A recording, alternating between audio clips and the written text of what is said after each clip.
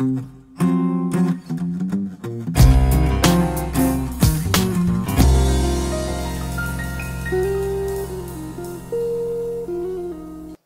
presidência convida a tomar assento à mesa os seguintes convidados: Jefferson Neri Chaves, auditor fiscal da Receita Estadual e assessor especial da Subsecretaria de Receita Estadual, representando aqui o Gustavo de Oliveira Barbosa, secretário de, da Secretaria de Estado da Fazenda.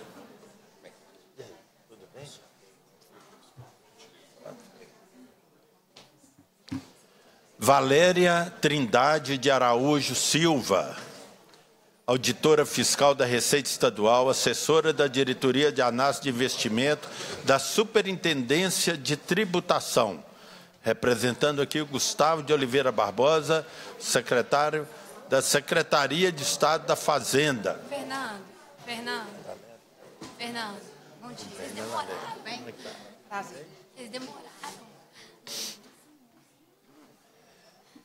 Bruno Nogueira Guimarães, servidor da Coordenadoria de Inclusão e Mobilização Sociais, CIMOS, representando Paulo César Vicente de Lima, promotor de justiça e coordenador geral da CIMOS, Coordenadoria de Inclusão e Mobilização Sociais, Ministério Público do Estado de Minas Gerais.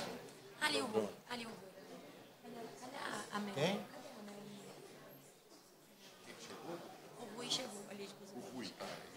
Nós chamamos. Ele não tinha chegado.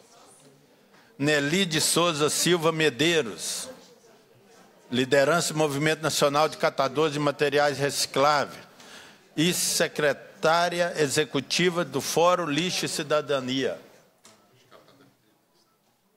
A Nelly tá dando Tá? entrevista já. já. Assim que tá. José Pereira de Azevedo, presidente da CONAF, Contabilidade, Auditoria e Consultoria Limitada.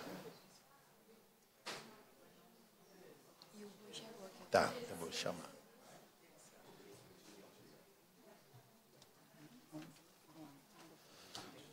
Oi.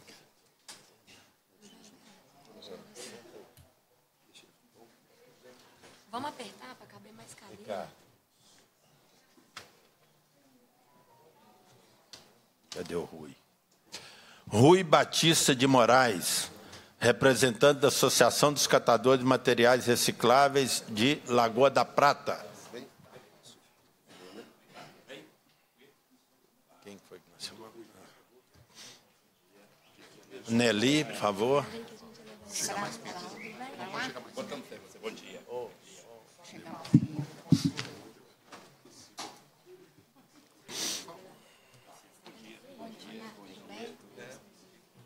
Tem mais alguém que nós podíamos... Ah, tá. Ok. Mas ninguém não. Não, não, eu falo para alguém que queira registrar a presença, não para chamar para mim. Você é o Rui? Isso. Depois, gente. Vem. Eu também sou da Secretaria de Fazenda Valéria. A secretária. Satisfação, Rui, tá?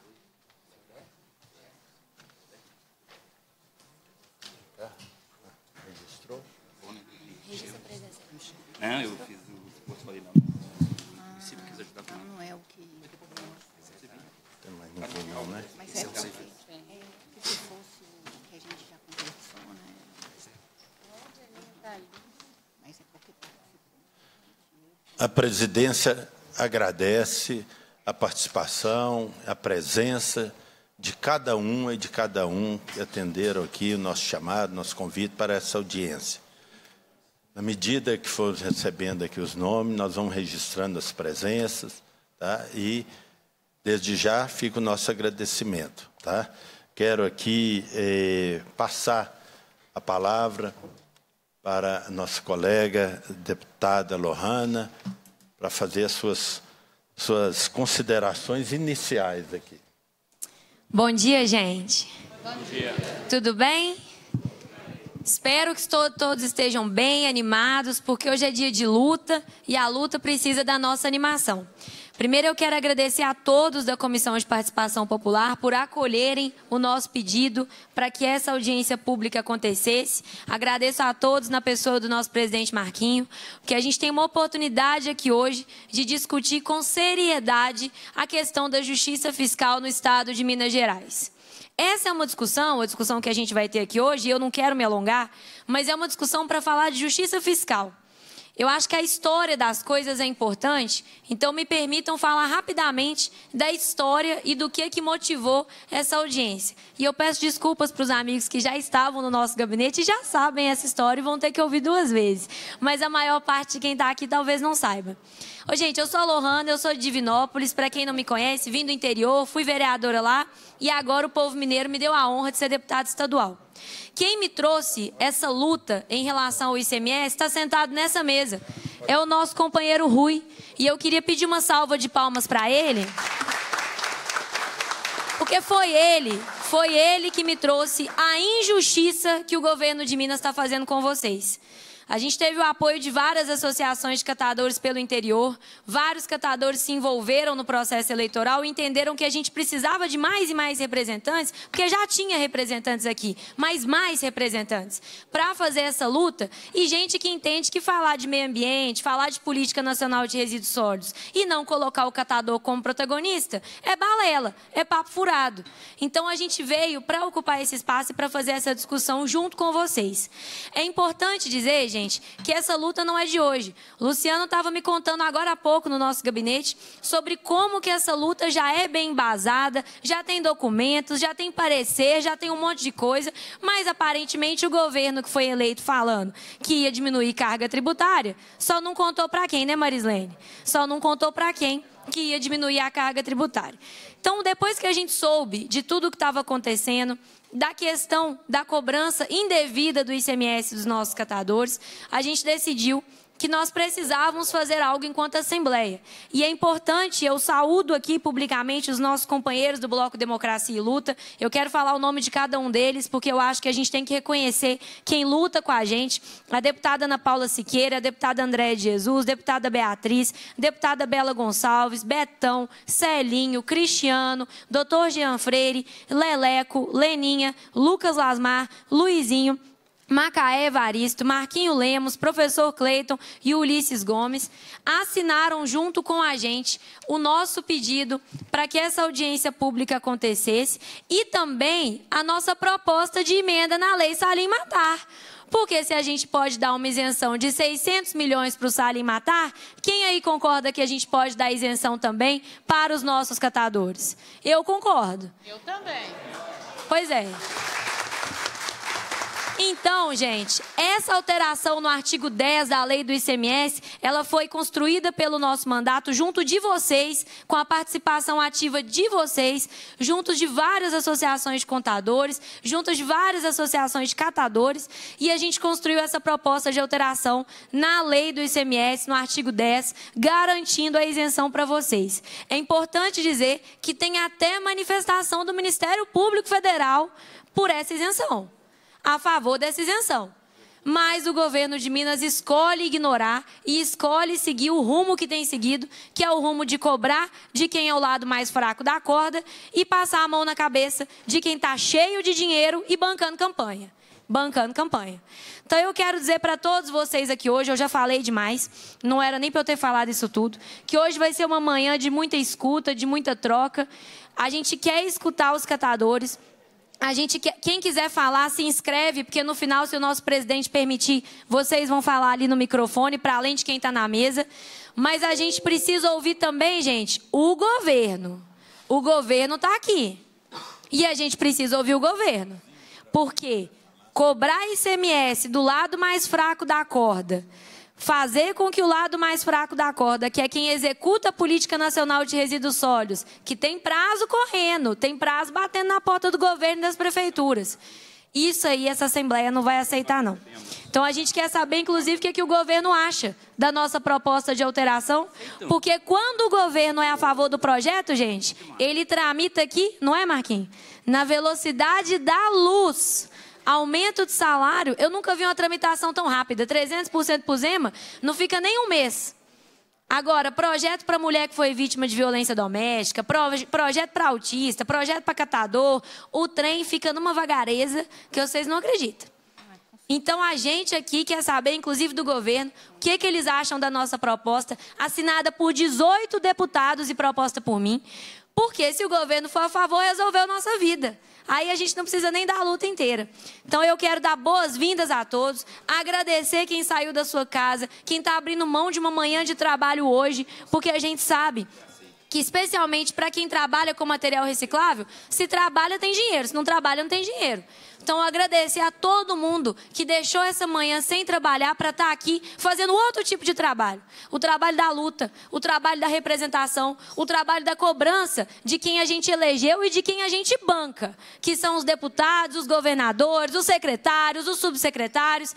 Então eu também queria pedir uma salva de palmas para vocês que estão aqui hoje nessa luta de forma corajosa e dizer que a gente está junto de vocês. Nessa mesa tem deputados muito comprometidos com a luta de vocês. Presidente, eu já falei demais. Muito obrigada pela sessão da palavra.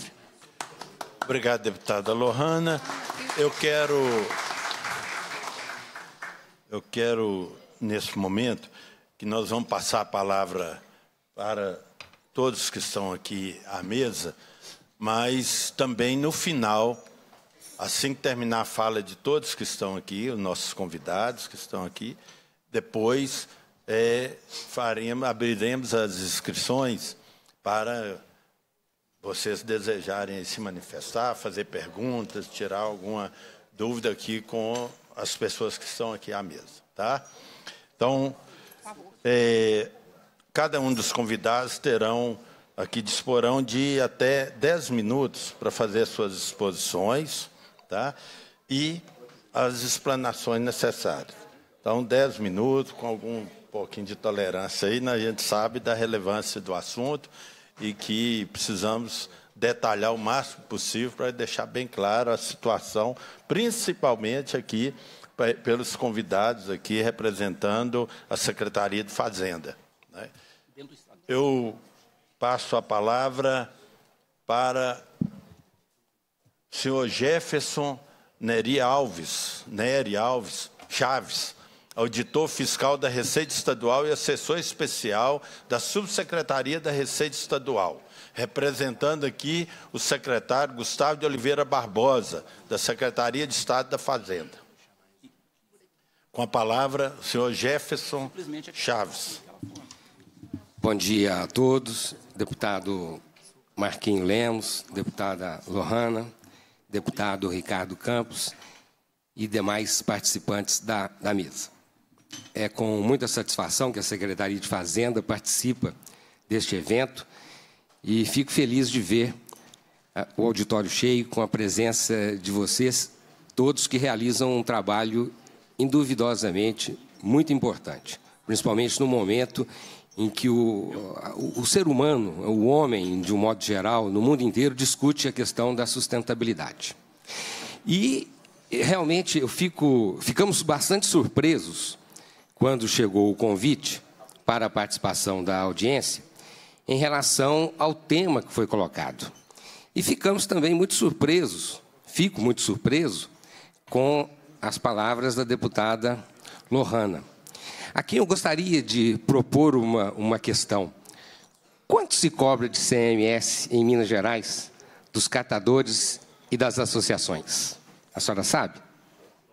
É o senhor que está aqui para responder. Zero. Por isso é que é, a nossa isto é, é zero. O regulamento de CMS, sim, é por isso que nós vamos tentar entender exatamente, porque quando chegou o convite e quando chega o tema, não é, a discussão é, de um benefício, de um incentivo fiscal nas operações internas relacionadas ao ICMS, é, o regulamento de CMS em vigor em Minas Gerais, ele é de 2002, 13 de dezembro de 2002. Antes do regulamento de 2012, 2, nós tínhamos o regulamento de 1996. E antes do de 96, o de 1991. E antes do de 91, o de 1984. Eu entrei na Secretaria de Fazenda em 87 e o regulamento que estava em vigor era o de 84 e ele nem consta mais do site da Fazenda para consulta. Mas desde 1991 é que a saída de sucata, de um modo geral, qualquer que seja a sucata, não é isso? Porque o material reciclável se classifica como sucata, há previsão nas operações internas do diferimento do ICMS. É uma palavra que não vem ao caso, tecnicamente se utiliza essa expressão de diferimento, e o diferimento na operação interna, ele equivale a uma isenção.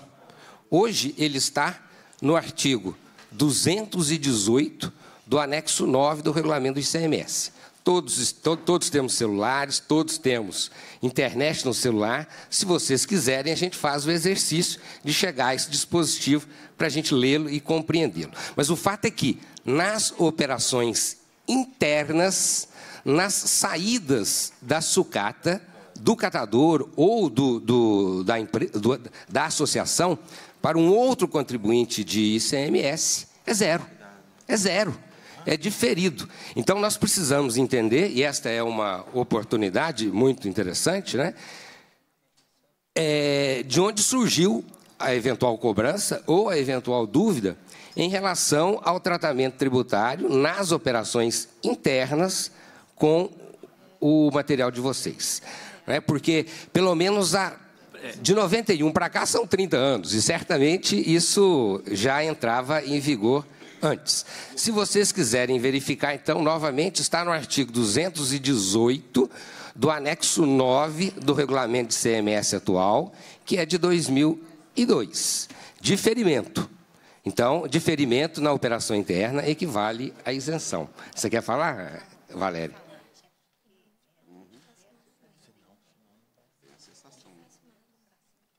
Sim. A Valéria está me informando aqui que, pelo menos o caso é, concreto, é que houve uma saída do diferimento para uma empresa destinada ao Simples Nacional. Eu não sei exatamente. Do Simples Nacional. É, e, é, não é do. É, e aí o que, que acontece?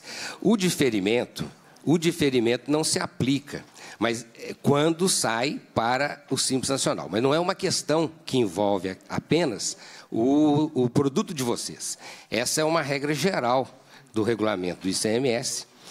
É, eu não quero entrar na tecnicalidade, porque direito tributário né, no Brasil é, é, é, difícil em todos os lugares e no Brasil especificamente é muito complicado. Mas vocês sabem que o ICMS é um imposto não cumulativo. Né? Todo mundo sabe que o ICMS é um imposto plurifásico não cumulativo. Significa o quê? A indústria, quando vende, destaca o imposto e paga.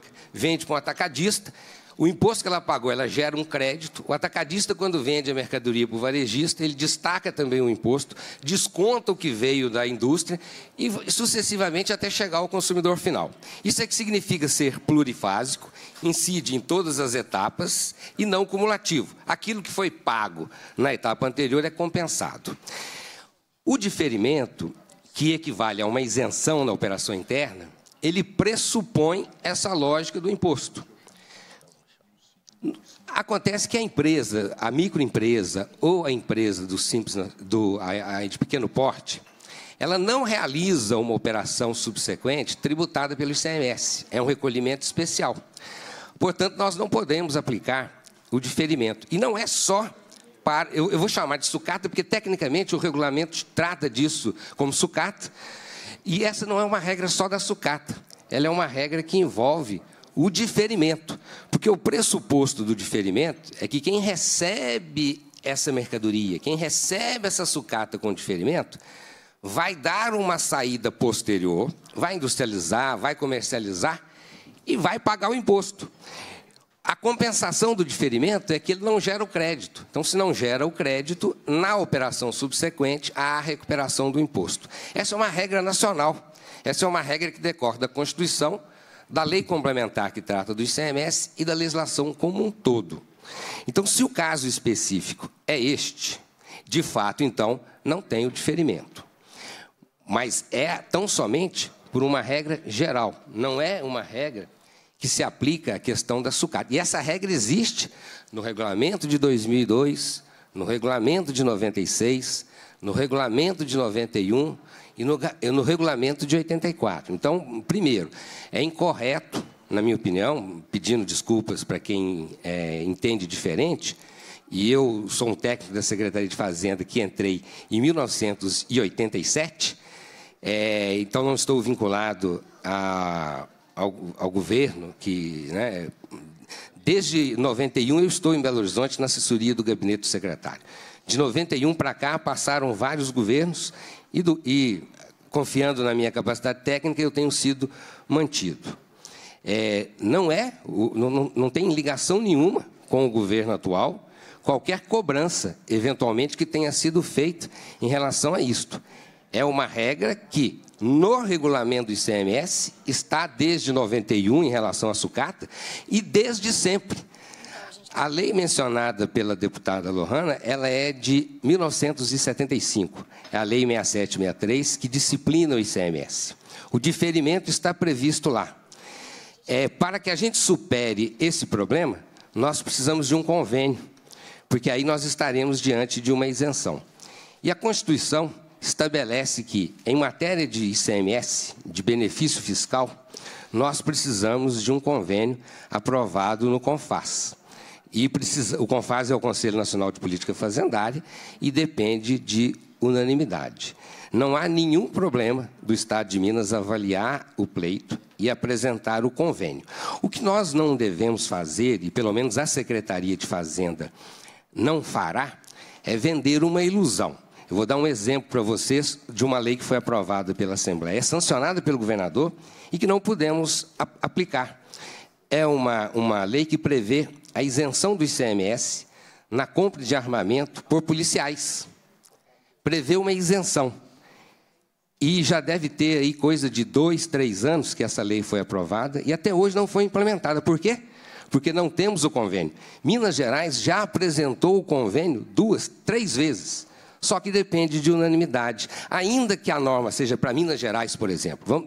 Vamos, imaginar que a proposta de Minas Gerais sobre essa questão das armas é, fique restrito a Minas Gerais. Ainda assim, nós dependemos da aprovação dos outros estados. E isso pode não ter nenhuma consequência para o outro estado. Qual é a consequência, do ponto de vista tributário, de uma isenção de armamento para policiais militares, civis de Minas Gerais em relação a outro estado? Do ponto de vista tributário financeiro, nenhum. Mas o que, que o Estado não quer lá? Ele não quer, ele não quer a pressão para que o Estado adote também aquele procedimento. E aí o convênio de Minas Gerais não é aprovado.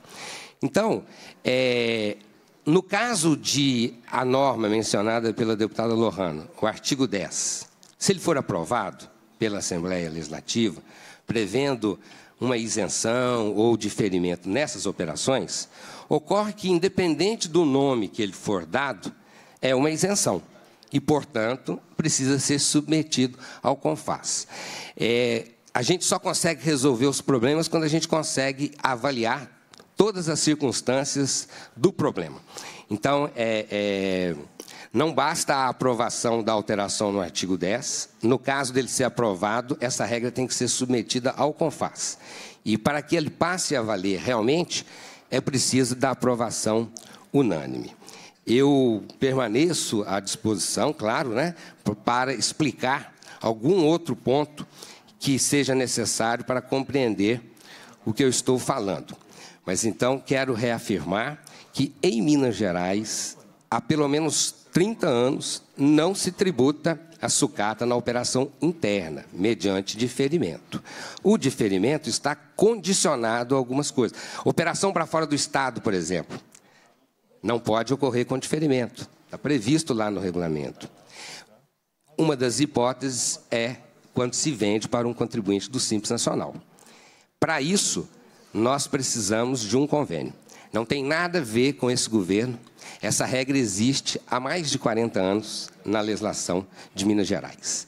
Eu agradeço a oportunidade de falar, de esclarecer, e estou aqui, deputado, deputada, à disposição para tentar esclarecer essa questão que é, parece simples, mas é muito é, e é simples mesmo, não é? é? é só não podemos ter é, visões equivocadas a respeito do assunto, para que a gente não possa iludir as pessoas. O importante é apresentarmos o problema concreto para buscarmos a solução viável. Muito obrigado. Obrigado, doutor Jefferson. Quero passar a palavra para a doutora Valéria Trindade, auditora fiscal da Receita Estadual, assessora da Diretoria de Análise de Investimento da Superintendência de Tributação. Também aqui representando o secretário Gustavo de Oliveira Barbosa, na Secretaria de Estado de Fazenda. Com a palavra por 10 minutos, senhora Valéria, e aproveito a oportunidade aqui para convidar para tomar assento aqui à mesa o senhor Raimundo Nonato Xavier de Andrade, representante da Associação dos Catadores de Materiais Recicláveis. Cadê? Da Associação de Coletores de Materiais Recicláveis de Divinópolis.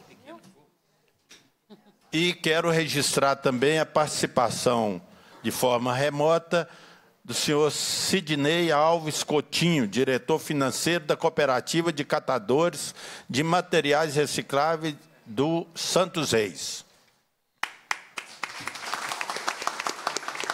Com a palavra, doutora Valéria. Bom dia a todos, né? Eu queria agradecer aqui a oportunidade de estar aqui representando. Doutora, só um minutinho, eu, eu vou ter que me retirar um pouquinho para ir aqui na FFO, porque nós vamos ter uma votação lá agora. Eu quero passar a presidência ao meu vice-presidente da Comissão de Participação Popular, o deputado Ricardo Campos. Uma volta.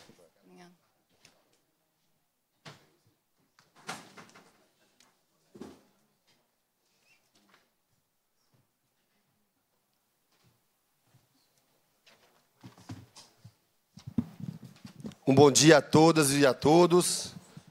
É uma alegria imensa podermos estar aqui, como bem disse a nossa companheira e colega desse parlamento, a deputada Lohana, Obrigado. onde nós, nessa condição de vice-presidente, assumindo um posto momentaneamente aqui na condução dessa audiência, podemos, deputada Lohana, trazer a voz do povo.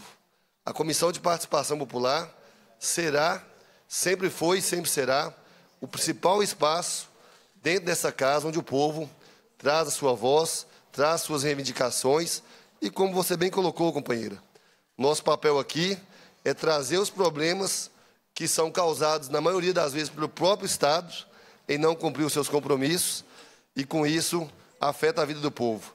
Então, Lohana, fazer parte desse coletivo que assinou com você esse requerimento e que, com certeza, colheremos bons frutos dessa audiência, para mim é muito honroso. E pode ter certeza que nesses quatro anos de nosso mandato aqui nessa casa, nós vamos trabalhar sempre para priorizar o povo mineiro. Então, eu não vou alongar minha fala, porque nós estamos aqui é para trabalhar e para mostrar compromisso com a população, principalmente os que mais precisam. Mas antes de passar a palavra para a Valéria, eu queria aqui saudar o meu amigo Vinícius, ex-prefeito de Patis, lá no norte de Minas, o vereador Serginho da Agropecuária, lá de Teófilo Otoni. E quando eu saldo eles, é para poder fazer uma referência, gente. Esses debates de natureza tão importante para o Estado, eles são tão relevantes, mas muitas vezes eles aferem aqueles que não têm condição de participar. Quantas associações de catadores do norte de Minas, do Jequitinhonha, do Mucuri e de outras regiões do Estado gostariam de estar aqui para fazer esse debate e não podem por questões diversas, em especial de condição financeira. Então, através da nossa participação aqui no parlamento, mas da presença de vocês, eles se sentem contemplados. E o debate que vocês fazem aqui, levem para si, não é só para vocês. São centenas de milhares de trabalhadores do Estado que estão contando com vocês para representá-los aqui nesse espaço. E aí, Serginho, e aí, Vinícius, quando eu cumprimento vocês, eu lembro desse povo, do nosso povo dos Gerais, que não pôde estar aqui por questões diversas. Mas eu espero e sei que serão bem representados e esperamos que o Estado tenha essa noção e esse compromisso também. Dando seguimento ao trabalho, registrar aqui também a presença do companheiro Labenete Ribeiro, assessor parlamentar do deputado federal Reginaldo Lopes, que comunicou que não poderia estar na audiência, está em viagem. Né? O Reginaldo, que está discutindo aí a questão da reforma tributária no país, que com certeza irá trazer bons avanços para a nossa população, em especial para os que mais precisam. E lembrando também, o Vinícius acabou de me lembrar bem, o Vinícius, ex-prefeito de Patis, representa aqui também o nosso amigo, deputado estadual Gil Pereira, nosso colega de comissão de Minas e Energia. Dando seguimento ao trabalho, gente, vamos passar a palavra aqui agora, devolver a palavra agora para a senhora Valéria Trindade Araújo, auditora fiscal da Receita Estadual, assessora da Diretoria de Análise de Investimentos da Superintendência de Tributação, representando aqui o Gustavo de Oliveira Barbosa, secretário da Secretaria de Estado de Fazenda. Com a palavra, Valéria. É, é, bom dia a todos, né? Novamente, é, agradecer aqui a oportunidade. É, como o Jefferson já falou, tanto eu quanto ele somos auditores fiscais de carreira, nós somos técnicos, né? É, ele mais tempo que eu, eu tenho 18 anos de Estado, é, também já passamos por vários governos, né? então o nosso cargo é técnico, não, não, temos nenhuma ligação com o governo atual, nem com o governo nenhum anterior. É, a gente é especialista mesmo na, na área de tributação. Né? Então, só esclarecendo aqui, é, é, é o que o Jefferson falou, eu acho que ele já falou praticamente tudo. Eu só queria né, falar que nós, é, nós temos é, uma diretriz de tentar é, desonerar realmente toda essa a carga tributária desse segmento. Né? Mas é, ele já falou do diferimento, existe a hipótese de encerramento de diferimento para os, as saídas para a Simples Nacional e para fora do Estado. Essa regra, como ele falou, está no regulamento há, há, anos e também é uma regra nacional, né? não é só aqui de Minas Gerais. Então, nós, nós estamos impedidos de fazer qualquer coisa, exceto o que está no regulamento, e a gente depende, de, se for uma isenção, que aí realmente não teria essa, é, essa saída, né, para saída para para a Simples Nacional estaria abrangida, mas a, a gente está impedido do Estado mesmo fazer. Tem que ser levado para o CONFAS, para a deliberação de todos os estados. Então, mas assim, estamos aqui à disposição, qualquer dúvida, é, pode contar conosco aqui para esclarecer. Obrigado, Valéria. Com a palavra agora, o senhor Bruno Nogueira Guimarães, servidor da Coordenadoria de Inclusão e Mobilização Social, CIMOS, representando o senhor Paulo César Vicente de Lima, promotor de justiça e coordenador-geral da CIMOS, que é a Coordenadoria de Inclusão e Mobilização Sociais do Ministério Público do Estado de Minas Gerais. Bom, deixa eu ver. Tá. Bom. Dia a todas e todos. Queria começar agradecendo o convite para estar aqui hoje é, podendo falar um pouco do ponto de vista que a gente tem lá da Coordenadoria de Inclusão e Mobilizações Sociais do Ministério Público do Estado de Minas Gerais. Meu nome é Bruno Nogueira Guimarães, eu sou assessor da coordenadoria é, e eu gostaria de fazer uma fala que, apesar de tocar em alguns pontos do que foi muito bem trazido né, pelo meu douto colega Jefferson aqui, eu acho que vai é, numa direção um pouco diferente né, que na academia talvez a gente chame de economia real. É, bom, a Coordenadoria de Inclusão e Mobilização Sociais, ela tem, dentro do escopo de atuação dela, é, o programa Lixo e Cidadania, tá, que é pautado por um termo de cooperação técnica entre as coordenadoria, o CAOM e outros órgãos do Estado. No programa Lixo Cidadania, nós visitamos diferentes cooperativas, associações, conversamos com prefeituras, ajudamos a instituir fóruns em diferentes cidades. Nós temos hoje 84 cidades no estado de Minas Gerais, em todas as regiões, que são aderentes ao programa. A gente faz diagnóstico da situação das associações, dos catadores, da coleta seletiva, da logística reversa a gente conversa com entes públicos e a gente põe o pé ali no chão dos galpões para entender o que que passa nas associações.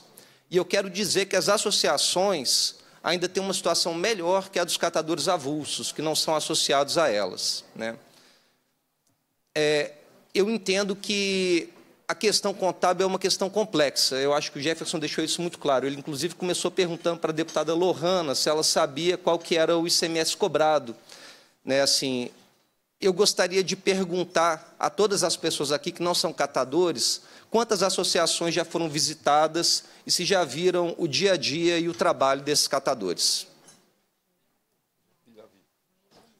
Eu gostaria também de perguntar se vocês sabem qual é a renda média desses catadores, se vocês sabem qual é o preço do papelão prensado. O papelão prensado é aquele que você já precisa ter uma prensa para colocar. E se você sabe que esse preço ele varia todos os meses e ele é muito diferente em diferentes locais do Estado, porque os compradores não são os mesmos. Os compradores, às vezes, eles vão cobrar metade do valor só no frete. Aquilo que no mês é 40 centavos, você vai vender por 20 centavos, o quilo a tonelada é 200 reais. Imagine você catar uma tonelada por mês e vender ela a 200 reais. Eu gostaria de colocar também que na Política Nacional de Resíduos Sólidos a gente tem uma hierarquia tecnológica que coloca que a reutilização ela vem antes da reciclagem, que vem que antecede o tratamento, que pode ser, por exemplo, a recuperação energética, como usinas de CDR, e por fim a disposição em lixões. Ela reconhece que os catadores, eles são parte essencial da reciclagem e da coleta seletiva. Essa é a Lei 12.305 de 2010. Como se diz, não só no Brasil, mas no mundo inteiro, coleta seletiva sem catador é lixo. Coleta seletiva sem catador é lixo.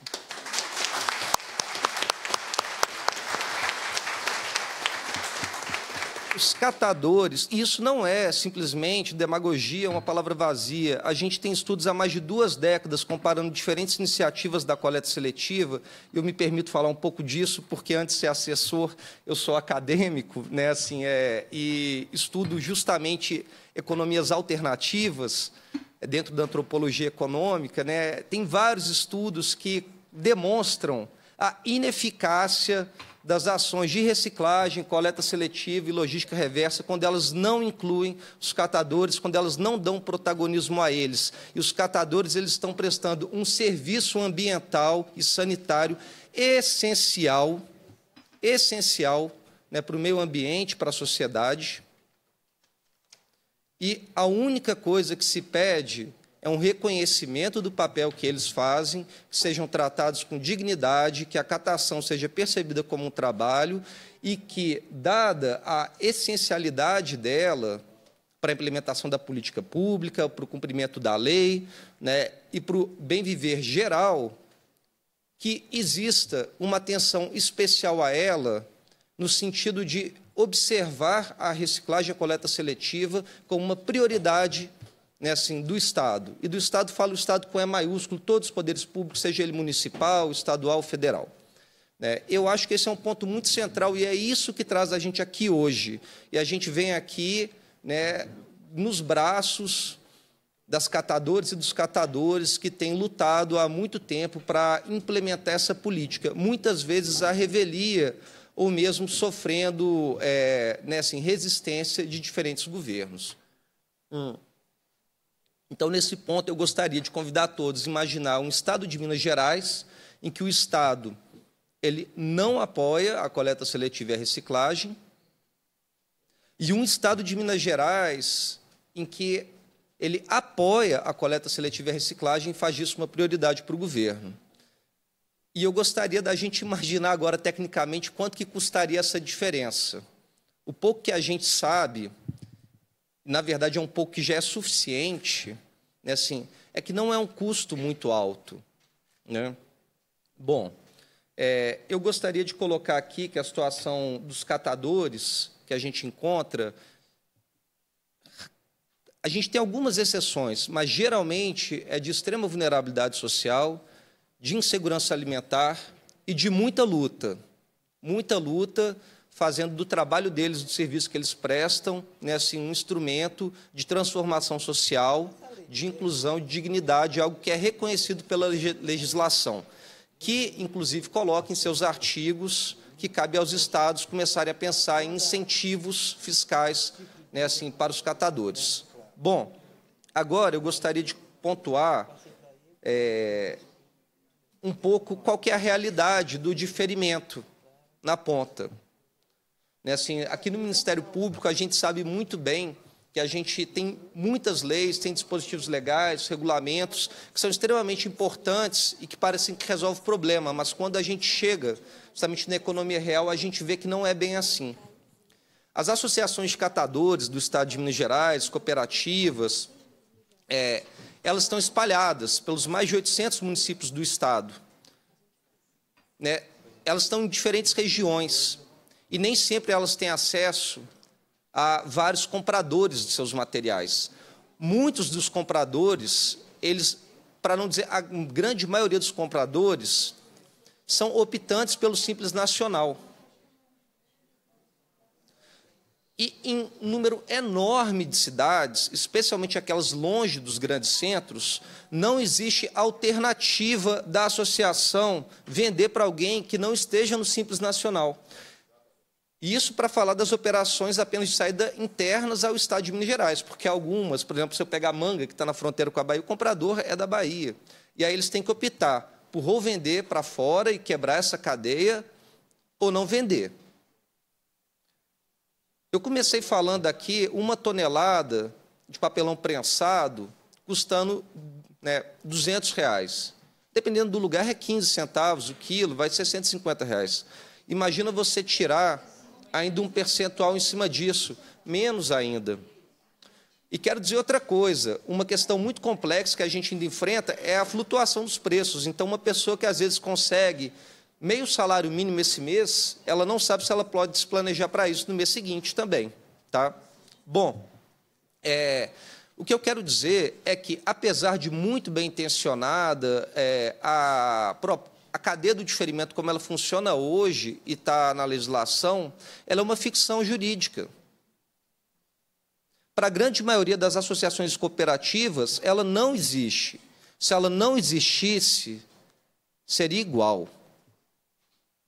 Porque as pessoas elas não têm a opção de vender para compradores que não estejam no Simples Nacional.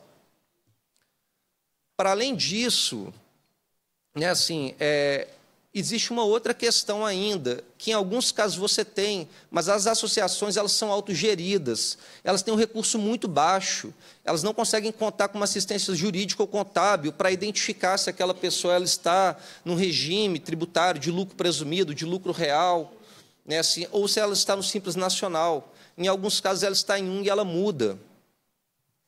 E hoje você tem associações no estado de Minas Gerais sendo cobrados dos últimos cinco anos 30 mil, 50 mil reais, 150 mil reais, 180, 180 mil reais. É um. 289 mil parece um leilão. Né? Assim, a gente só vai falando valores, valores maiores. Isso é ao longo de cinco anos. Se nós formos colocar na ponta do lápis, e aí é uma pergunta muito honesta para os meus colegas da Secretaria da Fazenda, porque eu não sei, eu adoraria ter essa informação. Qual que é o percentual de contribuição dessa tributação para o orçamento do Estado de Minas Gerais? Caso não houvesse, é o que é 1%, 0,1%, 0,01%. Né? Assim, é, eu não sei, eu gostaria muito de saber. É, bom, esse valor, que pode ser muito baixo para o Estado de Minas Gerais, porque a gente está falando aqui de 200 mil, que já é os casos mais altos ao longo de cinco anos. Tá? Esse valor ele vai ser provavelmente inferior a 40 mil reais por ano.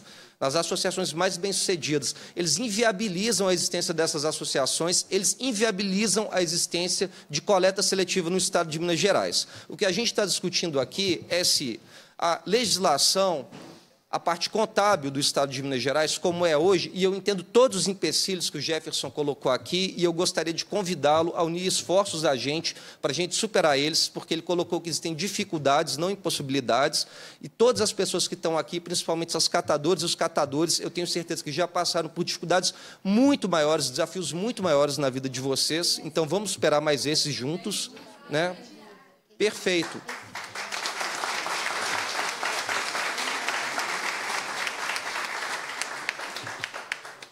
Então, eu gostaria de colocar aqui que o que está em jogo é se essa parte contábil ela vai impedir o Estado de Minas Gerais de ter reciclagem, coleta seletiva, logística reversa e descumprir a lei federal 12.305. Né? Esse é o primeiro ponto. O segundo ponto é tentar apontar que existem benefícios para além da parte ambiental e de inclusão social dos catadores. Se a gente não tiver. Quando a gente passa a tributar, o que a gente está estimulando é o catador avulso, que não é associado, que vende por fora para o comprador ali, que frequentemente vai esquentar uma nota. Isso daí não vai ter um recolhimento lá na frente. Se houver uma ampliação do diferimento, como está sendo proposto aqui, e assim, em que, é, por exemplo, optantes pelo Simples Nacional não tenham que, né, assim, quando você vende para essas figuras, a operação de saída não seja tributada, você estimula o cooperativismo, o associativismo, você estimula a emissão de notas, que permite você depois rastrear muito melhor o resto da cadeia e tributar os grandes agentes econômicos. Né? Porque você vai saber o que, que saiu para onde foi. Né? É, ah, existe um desafio da gente fazer isso? Temos que ir no Confas? Vamos. Esse é um primeiro passo, estarmos aqui hoje conversando. A gente tem que ir adiante? Vamos. A gente não veio aqui hoje para ter só essa audiência e acabou. Né? Então, eu gostaria de agradecer muito todos vocês. Quero dizer aqui que eu aprendo muito com todos vocês. Fico muito feliz de estar em boa companhia. É, agradecer o convite da deputada Lohana para estar aqui, agradecer a presença dos catadores e catadores, meu colega Raimundo Nonato, né, conversamos um minutinho aqui antes. Muito obrigado é, e, enfim, uma boa sequência de audiência para a gente.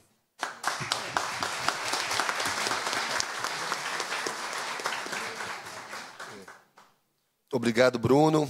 Quero aqui agradecer a presença. Daqui a pouco vou passar a palavra para ela a nossa vice-presidenta, deputada Leninha, que nos prestigia nessa reunião tá, de tamanha importância. Mas antes, Leninha, nós vamos passar a palavra agora para a Nelly de Souza Silva Medeiros, liderança do Movimento Nacional dos Catadores de Material Recicláveis, MNCR, e secretária executiva do Fórum Lixo e Cidadania. Com a palavra. É, bom dia a todos e todas e todes. É, eu cumprimento essa mesa aí é, na presença do é, nosso companheiro aí, Raimundo, viu, Raimundo? Feliz demais de ter você aqui. Mais feliz ainda a gente de ver essa casa cheia. Como é bom ver que nós engajamos essa luta, essa luta é nossa e a gente, quando precisa, a gente está todo mundo junto. Feliz demais, viu?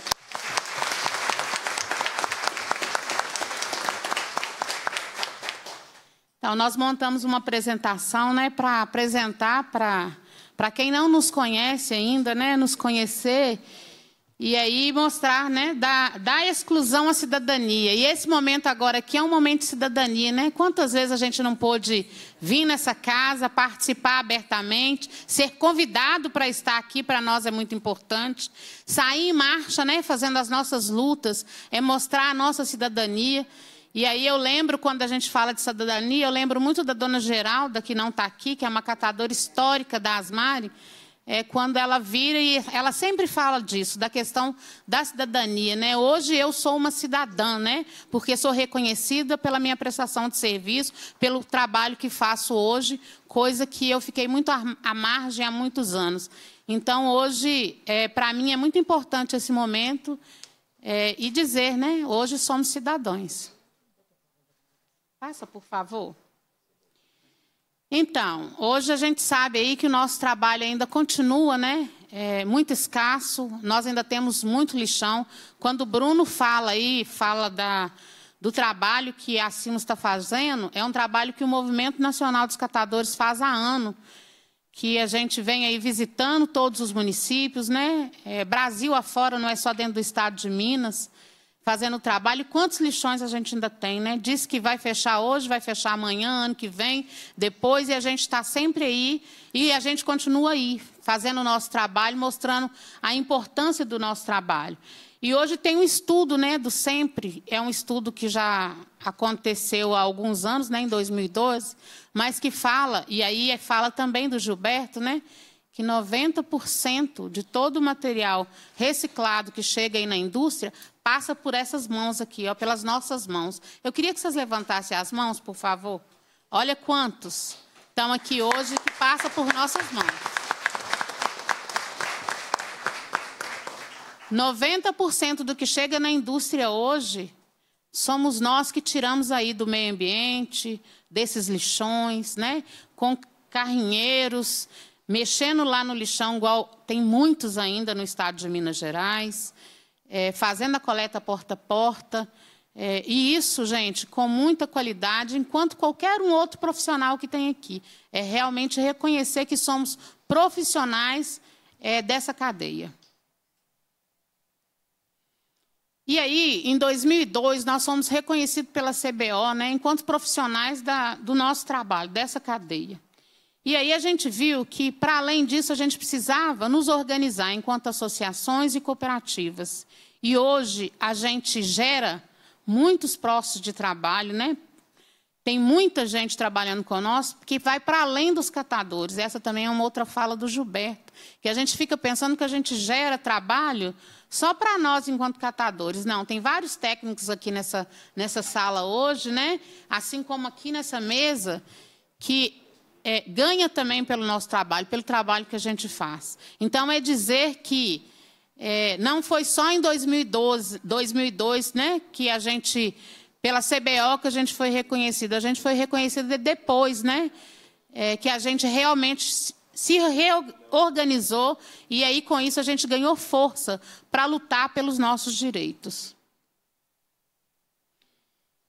É, quando a gente fala né, da, da estimativa aí, a gente busca lá o trabalho que o movimento nacional é, faz né, em torno do Brasil, que a gente é, consegue dizer que nós temos hoje um milhão é, de trabalhadores, de catadores, né?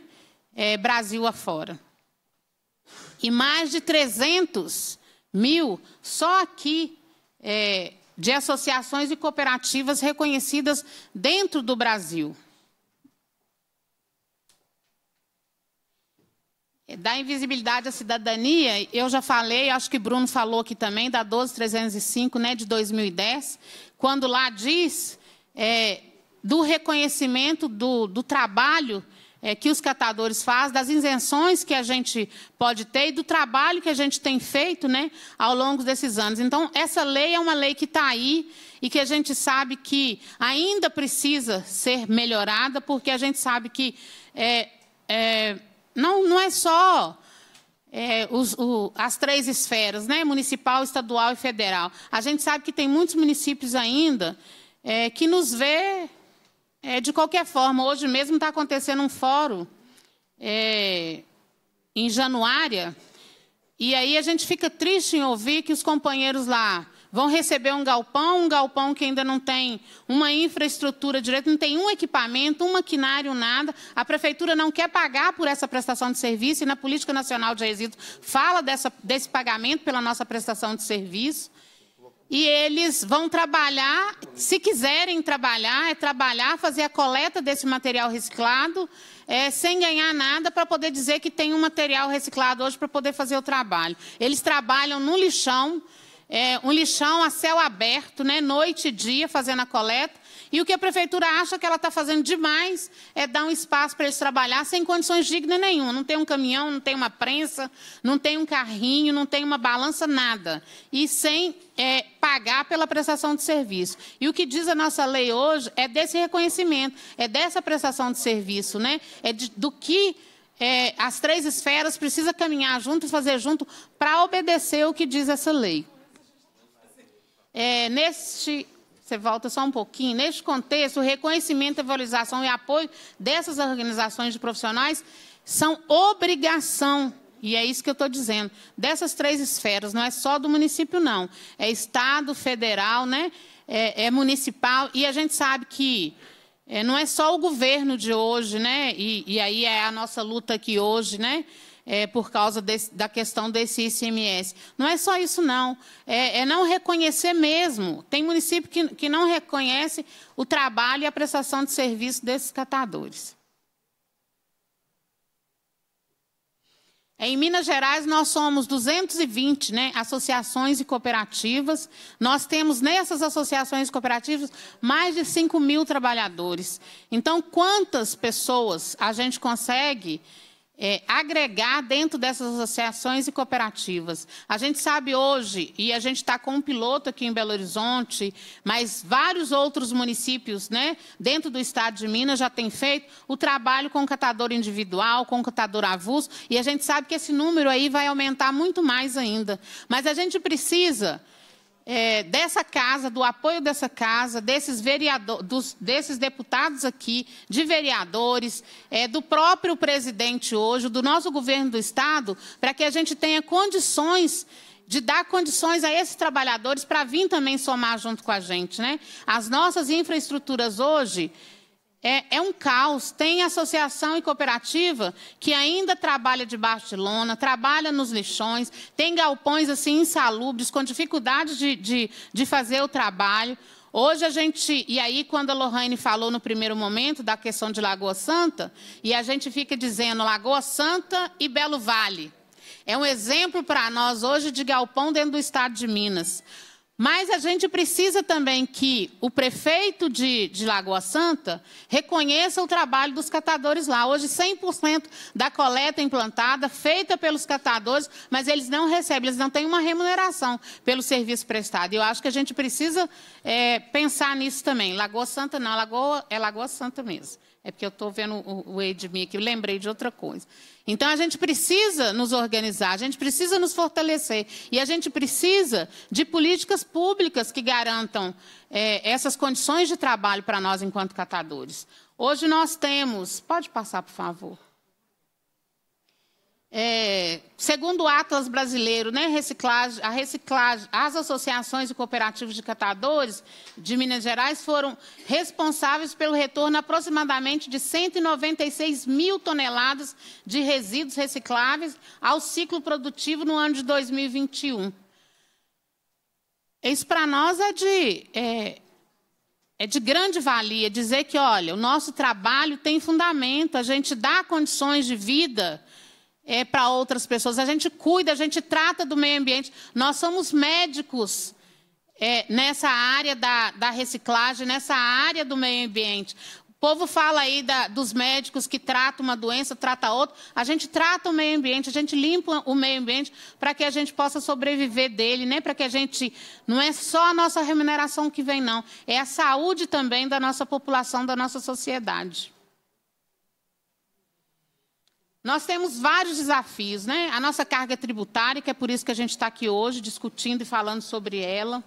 A ampliação da coleta seletiva solidária, que muitos municípios ainda não têm. Aqui em Belo Horizonte a gente tem uma coleta seletiva solidária, mas é uma coleta seletiva implantada em 39 bairros.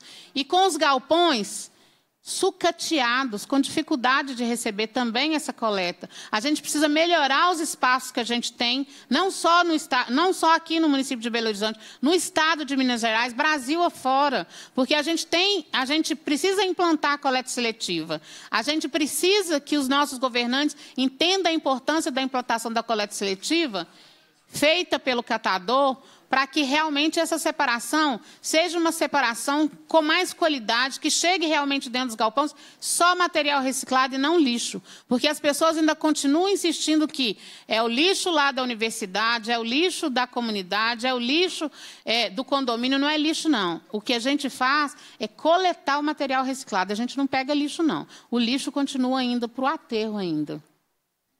Outro desafio que a gente tem é a inserção dos catadores informais na coleta seletiva. A gente já, eu comecei a falar sobre isso, mas a gente precisa é, de muito mais para a gente poder inserir os catadores. A gente está fazendo um, um, um, trabalho onde a gente viu que a gente precisa de assistência social junto com a gente para poder fazer esse trabalho, de psicólogo. Conversamos com o doutor Paulo lá na Simos sobre a questão de capital de giro, porque a gente sabe que o catador individual autônomo, sei lá como dizer, né, porque eu não gosto muito dessa palavra, mas esse catador, ele, ele gosta de receber todo dia, né? ele, ele quer levar o material reciclado dele, ter o dinheiro todo dia, porque ele não tem uma moradia, ele está na rua, então ele precisa do dinheiro para se alimentar, seja para fazer o que for, mas ele precisa do dinheiro diário. E a gente precisa ter algumas ferramentas para conseguir trazer eles para junto, para ter eles junto com a gente, para dar tanta dignidade para eles quanto a gente tem hoje. E para isso a gente precisa do apoio também de vocês, o apoio dessa casa e de outros parceiros que puder vir, do nosso governador, para que ele entenda que a gente precisa trazer esses trabalhadores para junto, ter eles junto, associado a uma associação, a uma cooperativa, mas para isso a gente tem que dar condições de trabalho para eles e para nós também, que já estamos com a nossa casa saturada, né? É, por favor, você volta, só um minutinho. É, o baixo preço do material, eu acho que Bruno já falou, as companheiras aí já falou. Hoje nós temos município pagando aí o papelão a cinco centavos. Eu conversei com o nosso secretário é, do Centro Mineiro e ele falou comigo, nossa, mas lá no meu município era 1,60. Eu não lembro o ano que foi isso a 1,60 não, viu, gente? Porque é, eu não lembro quando que foi isso, não, porque a hora que eu falei com ele que está a 5 centavos, ele ficou super admirado. Então, hoje a gente tem uma bolsa reciclagem. 2019, na pandemia, né? É... Tudo de novo. Isso na pandemia porque ninguém estava coletando, a gente estava parado, né? Então, por isso, chegou a esse valor. Mas hoje é 5 centavos chegando a 45 aqui em Belo Horizonte. Quando o Bruno fala, é, quando o Bruno fala aí da questão de que a gente tem é, vários compradores, é verdade. É por isso que a gente está aí com essa questão desse simples nacional batendo na nossa porta, né? Essa carga tributária chegando para nós, porque aqui nós temos quatro grandes aparistas, né? E que eu costumo dizer quatro grandes atravessadores. Porque a gente não tem indústria em Minas Gerais. Por que, que a gente não traz indústria para Minas Gerais para fortalecer essa cadeia, para nos dar condições de fazer esse trabalho? E aí a gente fica na mão desses grandes, né, desses quatro grandes aparistas aqui, e que a gente tem que. A gente não consegue negociar. Teve uma época que a gente conseguia sentar na mesa. Hoje nós temos a representação das redes aqui, e a gente, as redes conseguiam sentar na mesa e discutir questão de valores, discutir preço. Hoje a gente não consegue fazer isso mais, porque esses grandes, ele, entre eles, eles conseguem fazer a conversa e, e eles ditam o preço para nós. Mesmo a gente tendo a nossa casa com nosso maquinário, né, dando condições de trabalho, a gente ainda continua na mão é, desses grandes atravessadores. A gente precisa trazer para o estado de Minas né, empresas para que a gente consiga comercializar e vender direto para a indústria né, e sair da mão do atravessador.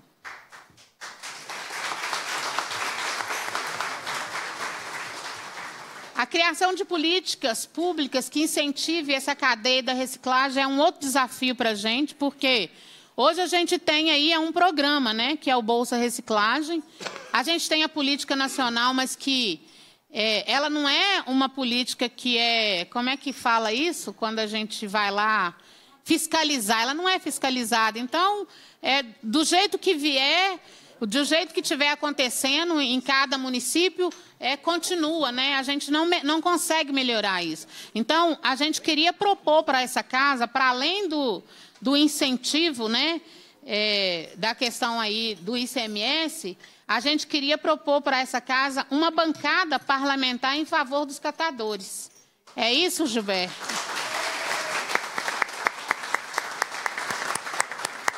Para que a gente consiga discutir esses nossos desafios, para que a gente consiga caminhar é, para mais. Hoje, eu tenho 23 anos de trabalho, né?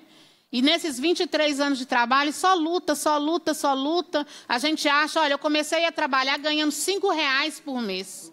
Hoje a gente ganha um salário mínimo com toda a dificuldade do mundo, e isso deixando, às vezes, de deixar é, lá as despesas para poder ter um salário mínimo. Então, por que, que a gente não consegue avançar nisso? Dar condições dignas de trabalho? Por que, que a gente não consegue que todos os municípios. Aí eu acho que o Marquinho, é Marquinho? Não, Serginho lá de Teó, né? É, vereador lá de Teó. A gente conseguiu conversar lá com Daniel Sucupira, que para tirar os catadores do lixão, ele propôs é, tirar do salário dele para poder pagar uma bolsa para o catador. E eu falei com ele, você não vai conseguir fazer isso, porque o catador no lixão, ele costuma ganhar, a Edna está aqui, não me deixa mentir, não sei onde que a Edna está aí, ele tira no lixão 5, 6 mil, né, Edna, mensal. E dentro de uma base, a gente mal consegue tirar um salário mínimo. Então, foi uma discussão que a gente fez lá com o Daniel, mas mesmo assim, Daniel assumiu e hoje faz um repasse de 600 reais, me parece, não é isso? para cada um catador que está dentro dessa instituição. E hoje, duas associações e cooperativas fazendo o trabalho dentro de Teoflotone. Por que, que a gente não consegue isso nos outros municípios? Por que, que os, outros vereadores, os outros prefeitos não podem também garantir uma retirada mínima para o catador, para que ele consiga complementar é, com a catação, com a coleta, com a triagem, com a prensagem, com a comercialização desse resíduo. A gente precisa, precisa que os nossos gestores públicos dentro de Minas Gerais, em 853 municípios, reconheça esse trabalho e fortaleça a nossa cadeia, que pague por essa prestação de serviço que há anos a gente faz gratuitamente. Está na hora da gente ser reconhecido por isso.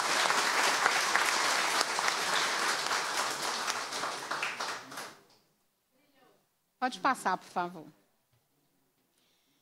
A manutenção e melhoria de renda, que eu acabei de falar agora, o reconhecimento pelo serviço prestado, que eu acabei de falar, e a gente precisa bater nessa tecla, a gente precisa que essa casa nos ajude, nos apoie, que crie política pública que defenda né, esse reconhecimento e que a gente consiga, de fato, ganhar por essa prestação de serviço. Gestão de negócios sustentáveis. Hoje a gente está aqui, aí eu vou falar das duas redes que estão tá aqui, que é a Rede Sol e a Cato Unidos, e aí depois Neide e Madalena pode complementar. Nós temos um projeto aí que é na rede, que, na Rede Sol, que é o projeto do, ri, do vidro, na rede Cato Unidos, que é o projeto do plástico, mas a gente não consegue desenvolver, porque a gente não tem capital de giro, a gente não tem infraestrutura, a gente não tem maquinário para tocar esse projeto. Foi um projeto que veio lá do Cataforte 2 e a gente não consegue desenvolver. Fez o projeto, mas não consegue é, encaminhar, dar sustentabilidade, né?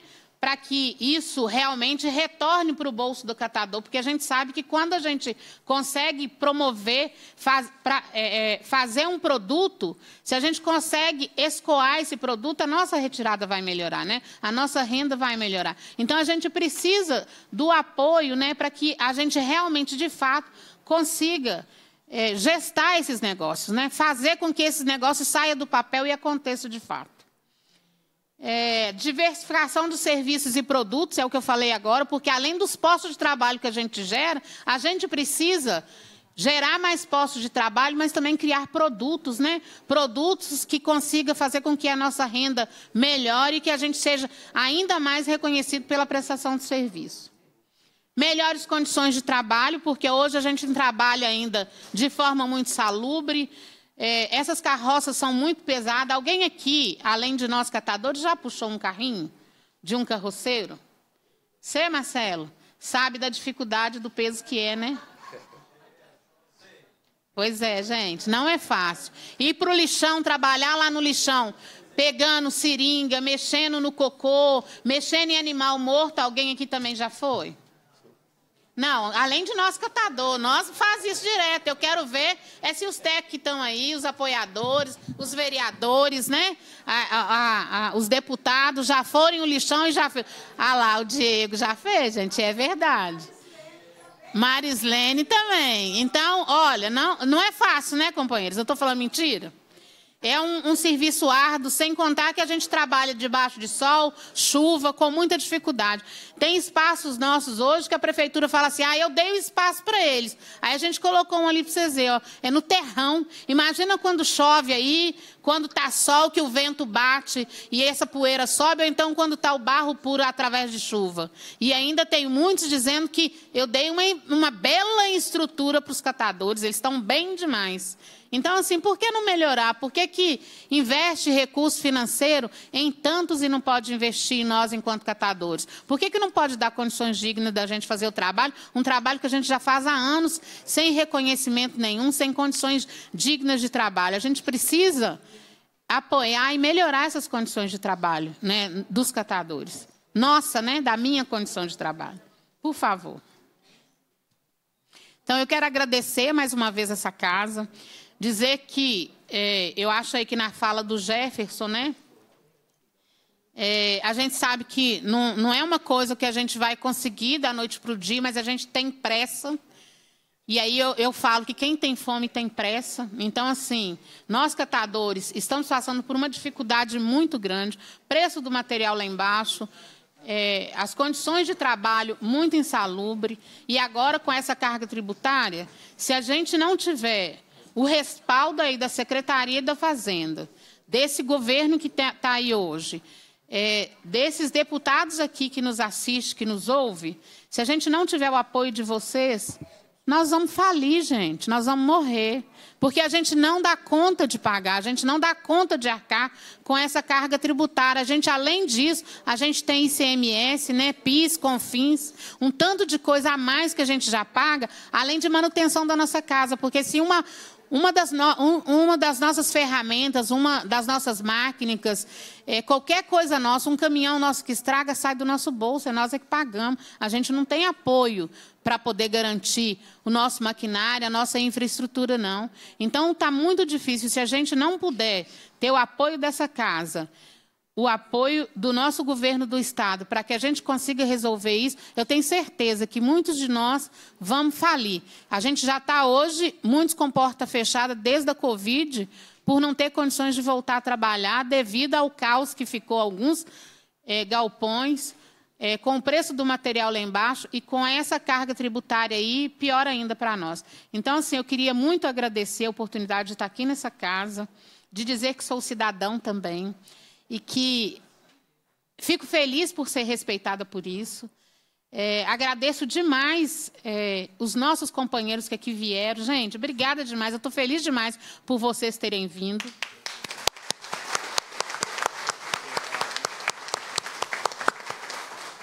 E espero que a gente tenha uma resposta breve. Não dá para ficar esperando mais, porque a gente não tem tempo mais. A gente está com fome e a gente precisa de apoio e de ajuda dessa casa. Obrigada.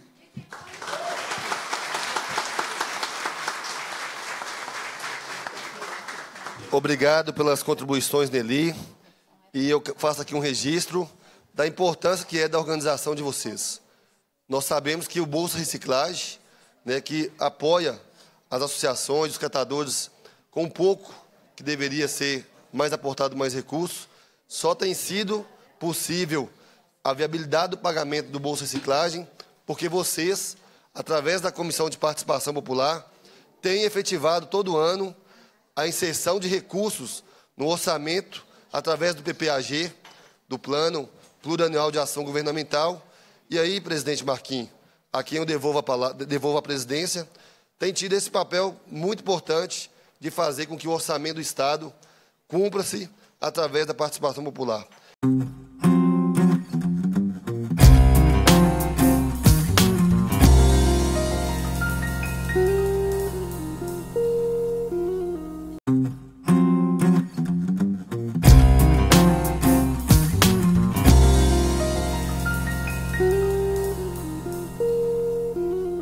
Queria cumprimentar, então, o deputado Marquinhos, que preside essa audiência, aqui também a deputada Lohana. Outras deputadas assinaram o requerimento para essa audiência acontecer. Queria saudar vocês que estão aqui presencialmente, aqui eu, olhando os rostos, né? É, o Vinícius que está aqui, estou é, vendo é, Marislene, Luciano, Padre Jorge, enfim. E de forma remota, lá no norte de Minas, está lá a Sônia, na Casa de Pastoral, junto com o Dilson Lá está a Denise do Galpão do Guarujá, lá está o Cid do Galpão dos Santos Reis, com Dona Maria da Luz, enfim, muita gente acompanhando de forma remota. Queria saudar a Nelly, que acabou de falar, né? Nelly, uma guerreira a nível nacional, uma pessoa super reconhecida pelo trabalho que realiza no Estado, e em nome dela eu saúdo os catadores e catadoras aqui presentes nessa audiência. É muito importante, minha gente, dizer que amanhã, pela primeira vez na história dessa Assembleia, uma mulher negra que veio de baixo para ocupar a política vai se tornar a primeira presidenta na história da Assembleia Legislativa de Minas Gerais. Isso é muito importante. Eu vou ser a primeira presidenta da Assembleia até na próxima terça-feira mas isso é muito importante, porque nós vamos rompendo barreiras, abrindo as fronteiras para que o nosso povo, o povo pobre, o povo que faz história nesse estado, possa também sentar na cadeira de presidenta para dizer que nós temos capacidade de fazer política. Primeiro, porque a gente está junto com o povo. Eu já fui em muitos galpões, já fui em muitos lixões. Ô, eu só não fiz nenhuma catação de lixão mas já tive presente. Já vi a situação deprimente que é a situação dos nossos irmãos e irmãs que reviram o lixo, que estão fazendo um grande trabalho na cidade e que são muitas vezes invisibilizados por um prefeito ou uma prefeita que não reconhece o grande trabalho que vocês realizam. Eu queria também dizer que são muitas frentes, inclusive o pessoal da Secretaria da Fazenda. Por aqui nós estamos falando, nós estamos discutindo uma série de coisas. Na terça-feira, eu estive lá em Brasília com o doutor Paulo César, que é o coordenador geral da CIMOS e parceiro de todos vocês, né? O doutor Paulo César, ele tem feito um trabalho e ele tem brilho nos olhos quando fala da, do fórum, né, do lixo cidadania. Ele fala com muito amor assim e ele convence as pessoas de que é preciso ter investimento nesse setor. Na segunda-feira nós fomos, eu conversei com a deputada Lohane, inclusive, porque nós temos várias frentes aqui a tratar. Nós estamos falando hoje da tributação, que é perversa, que não deve ser mais a gente vencer anos e anos sem discutir no Brasil PIS/COFINS, sem discutir aqui em Minas Gerais de CMS. Nós temos que ter uma frente para discutir a questão da tributação. Nós falamos de bolsa, reciclagem, mas nós queremos discutir previdência, queremos discutir como é que os nossos catadores e catadoras, quando envelhecem, tenham benefício garantido nesse país. Nada melhor do que o atual presidente que aí está, que gosta muito do trabalho que vocês realizam. Já marcou, inclusive, o, o jantar do Natal para o dia 23, né, Nelly? Nelly deve estar lá nesse jantar com o presidente Lula. Nós estamos falando do programa Procatador, que nós queremos lançar aqui em Minas Gerais, está tudo combinado com o presidente da República. Nós vamos lançar aqui em Minas Gerais, em parceria com o governo do Estado. Já conversamos com a secretária Elizabeth Jucá. Vamos conversar na Secretaria da Fazenda, vamos conversar nas servas, enfim, todo o lugar que nós queremos conversar com o governo, mas nós queremos construir esse lançamento com vocês. Nós não vamos deixar a rede de fora nessa construção, as associações, as cooperativas, a representação de vocês. Não pode ser um evento que só o governo dite o que vai ser feito no Estado de Minas Gerais. Queremos fazer um evento construído. O que, é que nós vamos? Vai ter um grupo de trabalho para discutir tributação? Vai. Vai ter um grupo de trabalho para discutir a questão da segurança alimentar, que nós discutimos também na Secretaria Nacional de Segurança Alimentar, com a Lília, que é a secretária nacional. Os galpões têm que ter uma vantagem comparativa em relação àquele catador que não se sente motivado a ser cooperado, a ser associado.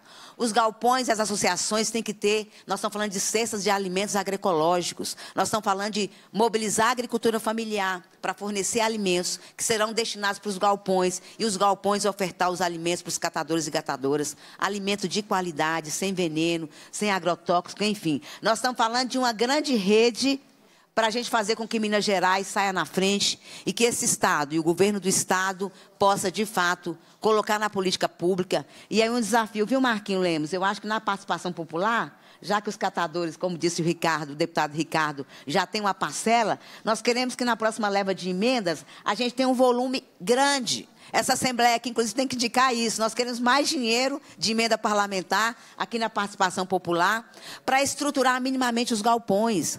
A gente atua, né, Vinícius, com emendas aqui para a questão da segurança, das EPIs. A gente, né, Balbina? Balbina está aqui também de Pirapora, do galpão de lá. É uma prensa aqui, é uma carretilha ali. Mas isso, gente, são poucos os deputados que deixam emenda para isso. E mesmo assim, os recursos não são muitos. Nós temos que transformar a política pública para esse movimento, para esse grupo. E por isso que aqui nessa casa, como a Aneli sugeriu, nós temos muitos deputados que são alinhados à luta de vocês, reconhecem o que vocês fazem. Então, nós vamos estar aqui à disposição. A gente vai estar aqui sempre, no que depender da mesa diretora da Assembleia, viabilizando o que for possível de eventos, de uma legislação que possa apoiar e ampliar o que vocês já construíram na longa história de vocês. E a gente, de fato, quer, novamente, o Cataforte apoiado pela Fundação Banco do Brasil, pela Petrobras, pelo BNDES, pelo projeto de Furnas. Então, o governo está num movimento grande de retomar parcerias. Quem está aqui sabe o quanto a Petrobras foi importante para o movimento, a Fundação Banco do Brasil, os recursos do BNDES. Então, nós precisamos, nesses quatro anos, é continuar mobilizados, fazer luta política, fazer incidência e fazer com que a gente tenha recurso público, porque o reconhecimento do trabalho de vocês não pode ficar só nas palavras. É muito bonito falar que vocês fazem um trabalho nas cidades. Por isso, nesse evento, nós queremos o maior número de prefeitos e o doutor Paulo César, nós queremos dois movimentos aqui, inclusive tentando trazer o Lula. Nós queremos, primeiro, com o doutor Jarbas, que é o procurador-geral procurador do Estado, que apoia vocês, junto com o doutor Paulo, fazer adesões para ampliar nós temos mais ou menos, em média, 84 municípios com o Fórum Lixo e Cidadania. A gente quer ampliar. Nós, no governo do estado, na SEDESE, tem um programa que tem mais ou menos 24 cidades. Quer dizer, isso é muito pouco para um estado que tem 853 municípios. Nós precisamos, é lógico, dentro de uma metodologia que cada lugar tem um estágio para esse processo de catação. Tem lugar que tem cooperativa, outra associação, outro não tem nada ainda, ou tem muito lixão. Então, é o Estado que tem uma realidade muito diversa com relação ao trabalho que vocês realizam. Mas a gente quer ampliar isso com o Ministério Público e com a representação do Procatador, da Secretaria da Presidência da República, nós queremos que os prefeitos façam adesão ao Procatador, para a gente, nesses três anos e meio, a gente, de fato, fazer muita coisa com vocês, junto com vocês, que isso é o mais importante. É essa política da que a gente quer construir, a prática da melhor política pressupõe participação daqueles que vivem né, e tecem a história a partir do chão onde pisam. E é nessa força e nessa coragem que a gente segue aqui, viu, deputados e deputadas? Eu não posso participar de comissão enquanto eu estou na mesa diretora, mas em quase todas as audiências que tem o nosso povo, eu venho para dizer que nós estamos juntos e juntas nessa luta e que Deus abençoe cada um e cada uma e força e coragem para a gente construir história nesse estado e nesse país. Um grande abraço e muito obrigada.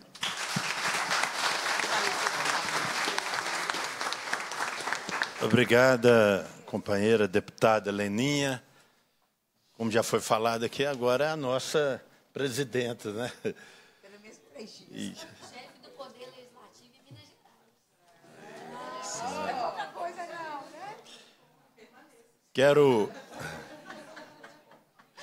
Já que a, a deputada Leninha falou sobre a questão da participação popular, nós temos todo ano a revisão do PPAG, a revisão do Plano Plurianual, e que é, nessa revisão tem um momento que é das participações de todas as organizações e sempre acontecem em novembro, outubro e novembro.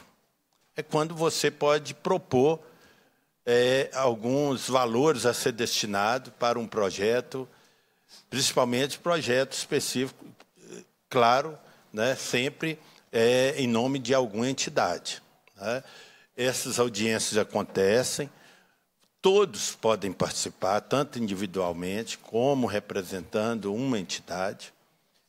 E depois é aprovado, vocês apresentam as propostas, os projetos, já colocando o valor, sendo aprovado pela comissão, fica incluído no orçamento do ano seguinte. Né? Então, é importante que participem. Né? Infelizmente, no ano, nos dois anos que eu estive à frente dessa revisão do PPAG e aqui como presidente da Comissão de Participação Popular, não tivemos a participação de vocês, viu, Nelly? Então é importante agora que já preparem para estar participando esse ano, porque tem um recurso né? Não é um dinheiro tão grande assim, pelo tanto que precisamos, mas com certeza é o que temos e que pode ser aproveitado. Né? E é o momento de discutir é agora esse ano, em, em outubro a novembro. Tá? Nós vamos estar divulgando e convidando vocês a participar das audiências e apresentar suas propostas.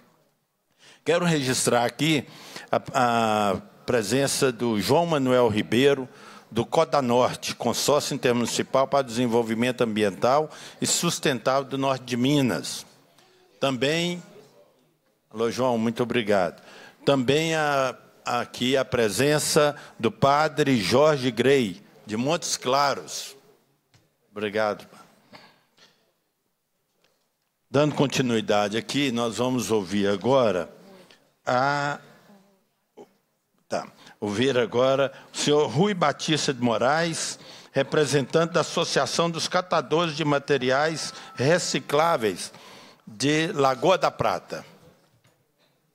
É, bom dia a todas as catadoras. Eu vou falar a todas as catadoras porque eu contei nos dedos aqui, acho que não dá nem 10 catador são catadoras, são as mulheres que abraçam a causa, tá? Meus parabéns a vocês. Não sou um catador. Sou um sócio fundador da Ascalp, mas tenho uma história de lixão com vocês. Eu vou depois contar uma historinha aqui. E boa tarde a todos os catadores também, aos presentes. Deputada Lohana, em seu nome eu cumprimento todos da mesa. Muito obrigado por você é, abraçar essa causa, nos procurar em Lagoa da Prata, eu trazer, nós trazermos a nossa associação o nosso problema. Não há cobrança de ICMS, mas foi nos cobrado. Foi feita uma defesa como instituição. Depois eu gostaria, José Pereira, que você nos representasse como contador, que vai falar, porque o nosso contador Reinaldo não está aqui, fez uma defesa sucinta, mas não foi aceita. Nós estamos com a dívida, tá? Nós tivemos que aceitar a dívida para não, não, não ser, é, perder a CND. E eu gostaria de agradecer ao Bruno, tá? O Bruno Bastos da Circulados, que é um parceiro nosso. Ele nos achou lá no interior lá e tem nos ajudado muito na logística reversa. É onde nós estamos nos organizando. A Associação de Catadores de Lagoa da Prata, ela tem um galpão muito organizado. Ela está bem organizada. Eu quero também é, né, cumprimentar é, vocês e no nome das três catadoras que estão aqui, a Regina, a Maria Ângela e a Juscelina, lá de Lagoa da Prata, tá vendo? São mulheres, só vê mulheres, né? Então, é, nos acompanhou. Eu estou vendo aqui, tá, que tem muitas catadoras e catadores do interior. Nossa situação no interior é bem mais complicada que a de vocês da capital e da, da grande, da grande BH. Mas estamos sobrevivendo. É, tem uma história aqui muito interessante que no rodapé do, do nosso papel timbrado, tem uma frase que é assim: transformações são possíveis quando todos fazem parte do processo. O que, que é essa, é, é, quando todos fazem parte? Sociedade civil, somos nós, poder público e né, que são a, a sociedade privada, são as empresas. Nós, poder público, poder público, ele vai lá no, lá no lixão, eu já fui poder público, tá, gente? Eu fui, eu sou prestador de serviço na área, eu sou gestor de resíduos e trabalho nessa área. Hoje, hoje, eu sou empregado, o único empregado da associação que eu ajudei a constituir em 2002. Eu sou sócio fundador. Então, é um orgulho muito grande para mim ser o empregado de uma associação de catadores. O único empregado. Eu tenho 18 patrões, viu? Patroas. Então, é um orgulho muito grande. Mas eu estive no lixão da cidade onde eu morei, onde eu moro, Lagoa da Prata convivi. E essa história que a Nelly fala aqui é a grande realidade. Aqui a gente, pelo menos, a gente ganha alguma coisa. A gente tira alguma coisa. Vocês vão levar a gente para a cidade, vocês vão nos organizar, nós vamos ter salário. Aí o poder público tira por obrigação. Nesse caso nosso, foi devido à consciência, de um, em 2002, né, gente, de uma, de uma gestora de meio ambiente. E ela fez um negócio tão bem feito que a associação está, está presente e sobrevivendo há 20 anos. Mas aí o poder público vem e nos tira e não organizam a coleta seletiva, o que, é que adianta? O material não chega. O material não chega. A gente corre atrás. E, e, e coleta seletiva, essa questão é perseverança. É todo dia. Nós somos mal educados, nós, catadores também. Porque eu conto no dedo dos catadores lá da minha cidade, da coisa, que faz a coleta seletiva, que faz a separação em casa. Até nós, nós somos culpados. Então, nós somos mal educados nessa questão. Ah, mas lá na, na, na Europa, então, nós estamos no Brasil. Nós estamos em Minas Gerais. Vamos trabalhar a realidade. E a realidade de cada cidade é diferente. A única realidade que é igual, catadores, catadoras, é essa dificuldade que nós temos. E quando nós temos que negociar, por exemplo, vou voltar no poder público, aí o poder público larga você de lado. Que bom, ele tem que deixar a gente sobreviver sozinho. Nós temos que ter essa autonomia, mas nós precisamos do poder público para nos organizar. Quem é que tem que fazer coleta seletiva? Ascalp. Quem é que tem que organizar divulgação? Ascalp. Está errado. Nós somos parceiros. Nós temos que ir só lá e, e, recolher, triar e ganhar o nosso salário. Nós estamos muito organizados quanto a Galpão, graças novamente a essa parceria, tá? com essas ONGs. Nós, nós temos um galpão muito organizado para uma cidade de 60 mil habitantes. Nós temos 50 toneladas de material, ó, de resíduos diário. Nós não conseguimos é, é, é, coletar nem dois. Ascalp, existem os autônomos, ou verdade, na verdade todos são autônomos, né, os catadores, mas existe aqueles, os autônomos que recolhem nos carrinhos, que são parceiros da gente, porque eles, é, sem eles a cidade ficaria cheia de material reciclável, ah, Ascalp não está recolhendo, está largando para trás, então você arruma um problema muito grande. Mas é, é, eles são parceiros. Eles não, se, não, não, entram na associação, né? ele já falou aqui, dificuldades, tal, tem que ter regras e não acompanham. Mas aí o poder, o poder público nos, nos abandonam nesse ponto. A gente não está pedindo muito, não. A gente está pedindo que eles continuem organizando a coleta seletiva, que chega o material. E aí, quando a gente precisa do, do poder público nessa questão, ele não aparece. Aí, nesse caso, apareceu o poder público para resolver esse problema nosso. É, é, é, é, não, não, cobram, mas cobrou. Nós, estamos, nós chegamos a dever 100 mil reais. Nós negociamos para não perder a CND, e hoje chegou em 43. Nós tivemos que aceitar para não perder. E aí eu lembro que até certo ponto nós não precisávamos de nota fiscal para receber o Bolsa Reciclagem, certo? É obrigatório. E lá onde eu moro, na cidade que nós vemos, tem cidade de Vinópolis, até o companheiro de Vinópolis que está aqui, né? Nós precisamos nos organizar melhor em redes, viu, gente? Na nossa região não conseguimos, infelizmente estão dificuldade muito grande. Mas o companheiro de Divinópolis está aqui, que é da região, a gente precisa realmente fazer isso. Mas aí acontece que Divinópolis, que é um grande centro, e cidades perto, pagam melhor o material reciclável do que sair da capital e pagar e, e, e um frete.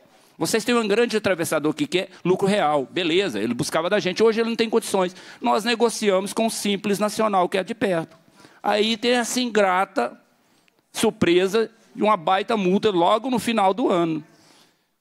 Aí começa janeiro, o material reciclável só caindo e a multa está aí. Nós estamos pagando, nós aceitamos. E queremos depois anistia, se acontecer, um, um, tá, um perdão dessa multa, porque fica, sim, né, conversar com o Estado para ver eh, até onde vai essa questão. Então, gente, essa participação nossa aqui, eu até estava falando para ele, cadê o festival Lixo Cidadania que nós tínhamos? Nós tínhamos voz, o presidente Lula veio duas vezes no festival, o governador do estado veio, os políticos vinham. A gente passava. Aqui, ó, tem 10 anos que eu não participo. Em 10 anos é a primeira vez que eu estou voltando a Belo Horizonte numa audiência com catadores, com catadoras. Nós precisamos mais disso. Nós do interior precisamos mais ainda. Precisamos, a gente precisamos. Porque a gente se limita lá no interior a buscar o material, triar, vender e pronto. Não é essa. Não é essa a nossa, nossa meta. Entendeu? E, e, conversar com vocês melhorias, como que a gente pode estar tá fazendo para trabalhar junto. Então, e aí, depois eu, a gente até, é, eu não sei como funciona de vocês, mas a iniciativa privada no cara, ela não fazem parte. Nós ainda sobrevivemos porque nós temos empresas da iniciativa privada na cidade que ajudam. Nós temos grandes redes de supermercado aqui de Belo Horizonte, que estão no interior, e não ajudam com um quilo de material reciclável. Grande departamento de lógicas de político no interior, que não participam também. A gente precisa começar a cobrar isso lá. E o, o, os companheiros deputados que têm essas, essas facilidades com essas pessoas, estão tá vendo o que a gente pode fazer dessa parte também. Então, gente, é um relato muito grande, porque quando eu estive com a Ascalp lá no lixão, eles falavam isso, mas eles sobreviviam. E eu cheguei a passar por mais duas cidades nesse mesmo setor, nesse mesmo sistema de trabalhar para constituir associação, e a, me, a realidade é a mesma, é a mesma. Mas hoje nós se organizamos, nós estamos juntos aqui e lutando pelos nossos direitos e vamos continuar lutando, certo? Então eu gostaria de sair daqui hoje, deputada Lohana, os demais, tá, que estão aqui à mesa, auditor da, da secretaria, com essa, tá, com, é, é, é assim, com a, com a certeza que as nossas preocupações vão ser só os problemas internos que a gente tem nas associações, que não são poucos. Né, para a gente resolver os problemas internos nas associações. E que a gente pudesse comercializar tranquilo. Porque a gente vai perder o bolso reciclagem se a gente começar. Se nós lá pararmos de, de, de, de comercializar com essas, essas, essas empresas no Simples Nacional, a gente vai perder o bolso. Entendeu? Então, quer dizer, é o que a gente vem cobrar. Associação de Catadores de Materiais Reciclados de Lagoa da Prata, como as demais que estão aqui, porque começou com a gente, mas parece que já abriu um, é um leque de mais algumas associações. Depois o Zé Pereira pode estar falando isso. Entendeu? Então, a gente é a realidade do que está acontecendo. Muito obrigado mais uma vez, vocês que abraçaram a causa. Muito obrigado às catadoras, catadores que estão aqui hoje. E, e, parabéns a todos vocês. Nós vamos continuar nessa luta e que o Estado nos olhe, né, nos é, dê uma luz Podemos continuar comercializando? Podemos vender? Podemos ter direito ao Bolsa Reciclagem? Ou vamos ter que continuar trabalhando nessa labuta de, de, de né, é um salário que não se condiz com o trabalho dos catadores do dia a dia? Muito obrigado. Obrigado, Rui. Passando a palavra agora para o senhor Raimundo Nonato Xavier de Andrade, representante da Associação de Coletores de Materiais Recicláveis de Divinópolis. Bom dia a todos, bom dia a todas. E em nome da Lohana, eu agradeço por estar aqui e agradeço à mesa diretora.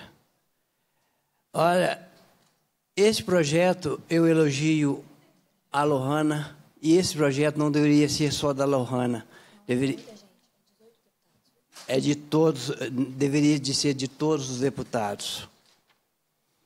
Porque vem a calhar esse projeto aqui nós fizemos em dois, em, há 12 anos, há 12 anos atrás, em 2012, praticamente, eu enviei um projeto ao Domingo Sávio, deputado federal Domingo Sávio, com esse objetivo de isentar os catadores desse, desse imposto.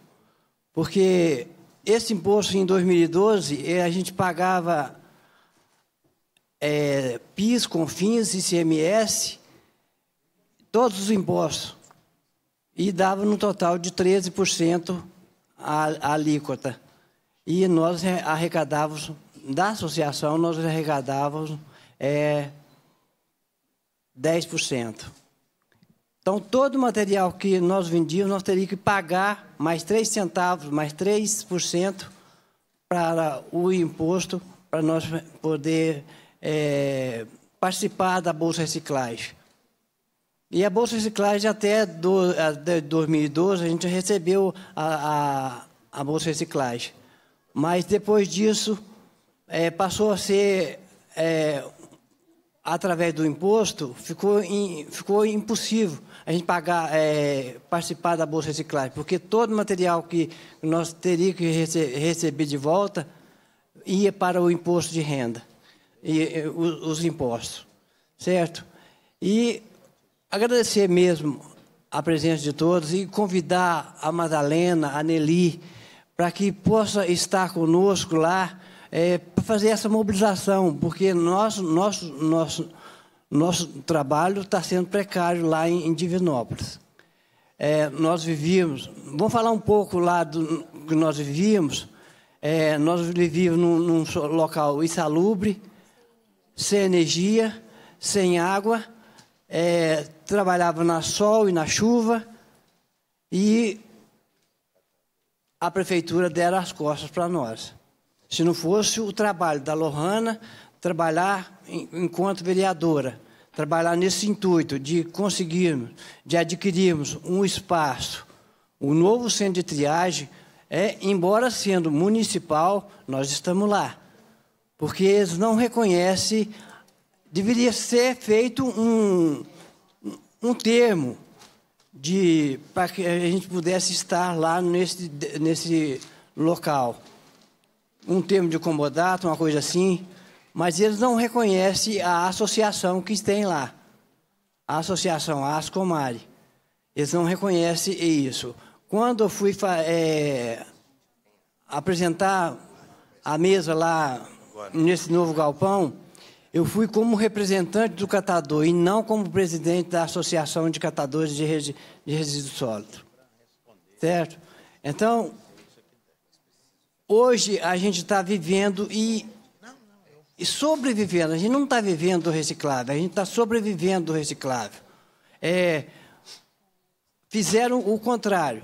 Fizeram o contrário. É, ao invés de mobilizar a cidade para a coleta seletiva, e não, mobilizaram o catador, cadastraram 40 catador para dentro do galpão. E, na verdade, é, é, tem 14. É, esses, esses, esses é, 26 estão esperando para que a, a, a, oportunidade.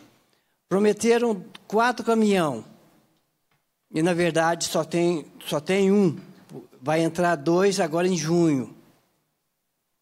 Pra, agora é, é insuportável a forma de, de, de, de salário que nós estamos vivendo lá. Em duas semanas, nesse mês que nós, que nós estamos lá, em duas semanas, em quinzena, em uma quinzena, nós recebemos 226 reais na quinzena. Por quê?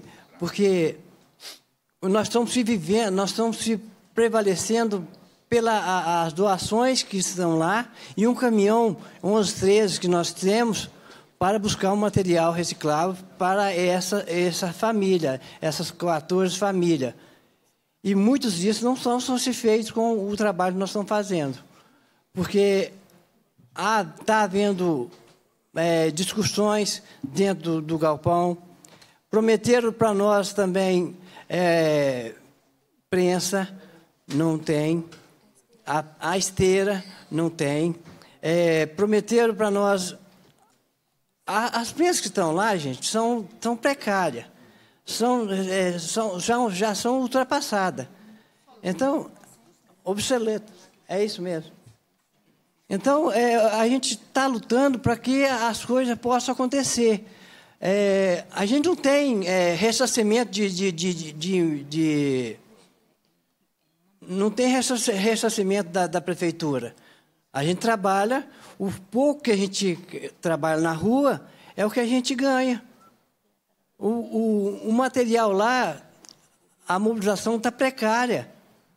É, ao invés de mobilizar a cidade é, e, e, prometer que aquele material vá para o centro de triagem, ele não está sendo indo para o centro de triagem, tá, é, o que está indo para dentro do centro de triagem é lixo. É, falaram que, que é 54 toneladas mensal. Na, em, em, isso aqui é, é 54 toneladas mensal, daria para nós sobreviver. Mas, na verdade, está indo 4 toneladas por mês em Divinópolis. É, 300 mil habitantes. Está indo 4 toneladas por mês. Eles falam 54, mas na verdade 50 é lixo. O que a gente tem que ir lá, e a gente está no local onde tem um restaurante que houve denúncia, e a gente tem que tra trabalhar esse, esse dia a dia, esse lixo todo dia, para que não aconteça nada de grave. Quando nós estávamos lá no outro galpão, é, trabalhando no sol, na chuva, e entre meios ratos e baratas e, e traços e tudo mais, nós, teria, nós tínhamos um, um salário de dois mil reais, estando lá. Agora caiu para 226 reais a cada quinzena. Agora eu preciso da ajuda, do apoio de vocês, do Movimento Nacional dos Catadores, para que, estando lá, a gente faça pressão e, juntamente com a Lohana, a gente possa fazer pressão ao prefeito para que possa melhorar o nosso, o nosso condicionamento de vida lá.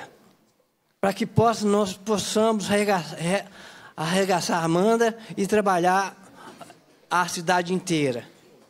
E trabalhar também o sentido do catador, o, o catador que, que vive de, na rua é muito, muitos catadores lá estão trabalhando, mas na esperança que possa ir para o galpão. Foram cadastrados 280 catadores lá, lá em Divinópolis. Agora aqui está sobrevivendo, são 14. São 14. Então, eu, eu faço um, um apelo a vocês a, do Movimento Nacional dos Catadores. Vai lá nos ajudar. Faça, é, faça esse, esse, esse. Porque eu participei da, da, do Minas Reciclando e deram, é, é, falaram que ia gente. Só falavam. Só assistência, só, só visita e mais nada. Mas apoio técnico a gente não tem. tem puseram, aliás, puseram uma coordenadora lá para coordenar tudo que for preciso falar, eu preciso falar com ela primeiro, para depois passar para, para a, a, o comitê gestor. Então, isso não está tá dificultando as coisas para nós lá. Então, é, é esse, é esse apelo que eu faço a vocês. E que esse projeto a gente possa estar sendo votado. Não só pela, dos oito é, deputados, mas pela a maioria para que a gente possa estar defendendo as classes do, dos trabalhadores da, da, da associação e, traba, e trabalhando para que a gente possa ter mais ganho e a gente possa ter mais estabilidade e sustentabilidade na nossa, no nosso país. Obrigado a todos.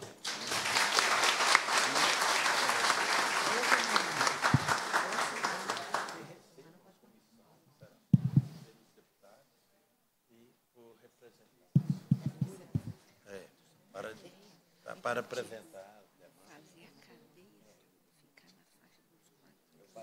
Obrigado, Raimundo. Passo a palavra para o senhor Sidney Alves Coutinho, diretor financeiro da Cooperativa de Catadores de Materiais Recicláveis do Santos Reis.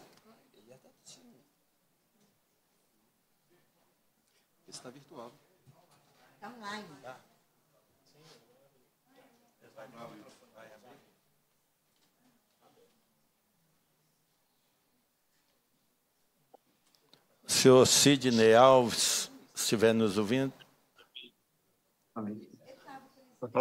Bom dia a todos. É, Bom dia. Cumprimento, cumprimento a mesa diretora, todos, todos participantes dessa grande audiência. Cumprimento especialmente a deputada Lohana, que teve essa grande iniciativa de organizar esse momento para a gente falar um pouco do trabalho dos catadores. É, cumprimento deputada Leninha, que também tem dedicado é, atenção a esse, a esse segmento dos catadores, essa classe dos catadores, e conseguiu é, é, resultados, conseguiu é, trazer aqui recursos para as, as, associações aqui de Montes Claros, é, equipamentos de EPI e outras necessidades das associações. Quero cumprimentar também é, demais é, deputados presentes e seus representantes. Cumprimento Vinícius, assessor parlamentar do deputado Gil Pereira, e quando iniciamos o projeto aqui em Montes Claros, Recicla aos Montes, o Venício, ele abriu as portas e dedicou muito a esse trabalho, né, esse projeto de, de criar e dar condições à existência das associações aqui em Montes Claros. Hoje aqui estamos presentes aqui é quatro presidentes Dona Maria da Luz faz presente, é a presidente da, da Cooperativa de Santos Reis. Dona Rosinha e Denise também, representando aqui a Associação do 3Rs. E Dona Socorro, representante da Associação Monte Sul. É, quero cumprimentar o Bruno aí da Simos, né? E ele leva nossa saudação e nosso cumprimento especial a doutor Paulo César, que foi o precursor aqui de, de dar atenção e criar as associações e conseguir que, é, transformar a vida dos catadores aqui da nossa cidade de Montes Claros e região. Tem feito grandes trabalhos agora na coordenação geral da CIMOS e e vem, e vem trabalhando fortemente na aplicação dos recursos para fortalecer e estruturar as associações. E aqui eu não vou repetir as palavras dos colegas, a apresentação da Nelly foi muito pontual, ela, com muitos detalhes, é, mostrou a realidade hoje dos catadores e das associações. É, nós aqui da, da cidade de Montes Claros e da região, nós temos que estar mais próximo, encurtar a distância com o Movimento Nacional dos Catadores, para a gente fortalecer mais as nossas ações e buscar nossas reivindicações. É, o tema ele é oportuno, creio eu que os representantes do governo e os representantes do Estado é, vão levar para é, os principais responsáveis essa nossa reivindicação e nada mais que justo, porque nós buscamos na sociedade é, nossos direitos semelhantes às outras classes de trabalhadores. Fazemos um trabalho muito importante né, na, na sociedade, onde, além de ajudar o meio ambiente, nós também temos contribuições significativas para a saúde e bem-estar das pessoas. É, conseguimos grandes avanços aqui na, na nossa cidade de Montes Claros, temos uma, uma participação e um trabalho muito forte aqui do município de Montes Claros quanto ao trabalho das associações. Temos um programa aqui que cada vez mais está trazendo é, condições das associações desenvolver grandes trabalhos Hoje aqui representamos aqui é, mais de 200 famílias, as cinco associações aqui no, no programa do projeto Recicla aos Montes, e claro, tem grande, grandes desafios para a gente buscar aqueles catadores individuais, que como foi bem falado aí pelo Bruno e pela Nelly, que se a situação dos catadores nas associações está difícil, com os, com os catadores individuais a situação é mais difícil ainda. Parabenizo todos aí é, por essa iniciativa, por essa atenção a essa causa e estamos aqui na nossa, na nossa cidade, na nossa região, prontos para receber é, boas notícias aí dos, do pessoal que terão sensibilidade para buscar é, solução ou alternativas de melhorar essa classe e os segmentos né, de catadores onde a política nacional de resíduos está aí e muitas das vezes ainda falta é, sensibilidade de algumas instituições de prevalecer os, os direitos né, dessa classe de catadores. É, agradeço a participação, o espaço aqui de estar falando sobre nosso trabalho aqui na cidade de Montes Claros e também na região. É, esperamos em outras oportunidades estar presente né, nesse momento importante e de uma audiência pública que vem trazer né, é, situações, uma luz para a situação desse segmento que é importante na, na sociedade e vem trazendo é, grandes situações de melhoria, principalmente, sobretudo, do meio ambiente. É, importante a participação de todos. É, queremos aqui também falar um pouquinho da, dessa dificuldade, além da, da tributação, que é o nosso tema principal, dessa dificuldade de lidar com essa situação difícil de recicláveis, que, como o Bruno falou muito bem aí, é a flutuação de preços acaba, acaba trazendo é, muito transtorno para esse segmento. E para nossas atividades, porque no dia seguinte e às vezes compromete não só o pagamento, é, contribuições. É uma situação difícil, creio eu que nós conseguiremos é, buscar alternativas e soluções é, nesse problema e aí vamos mudar é, é, definitivamente a situação dos catadores.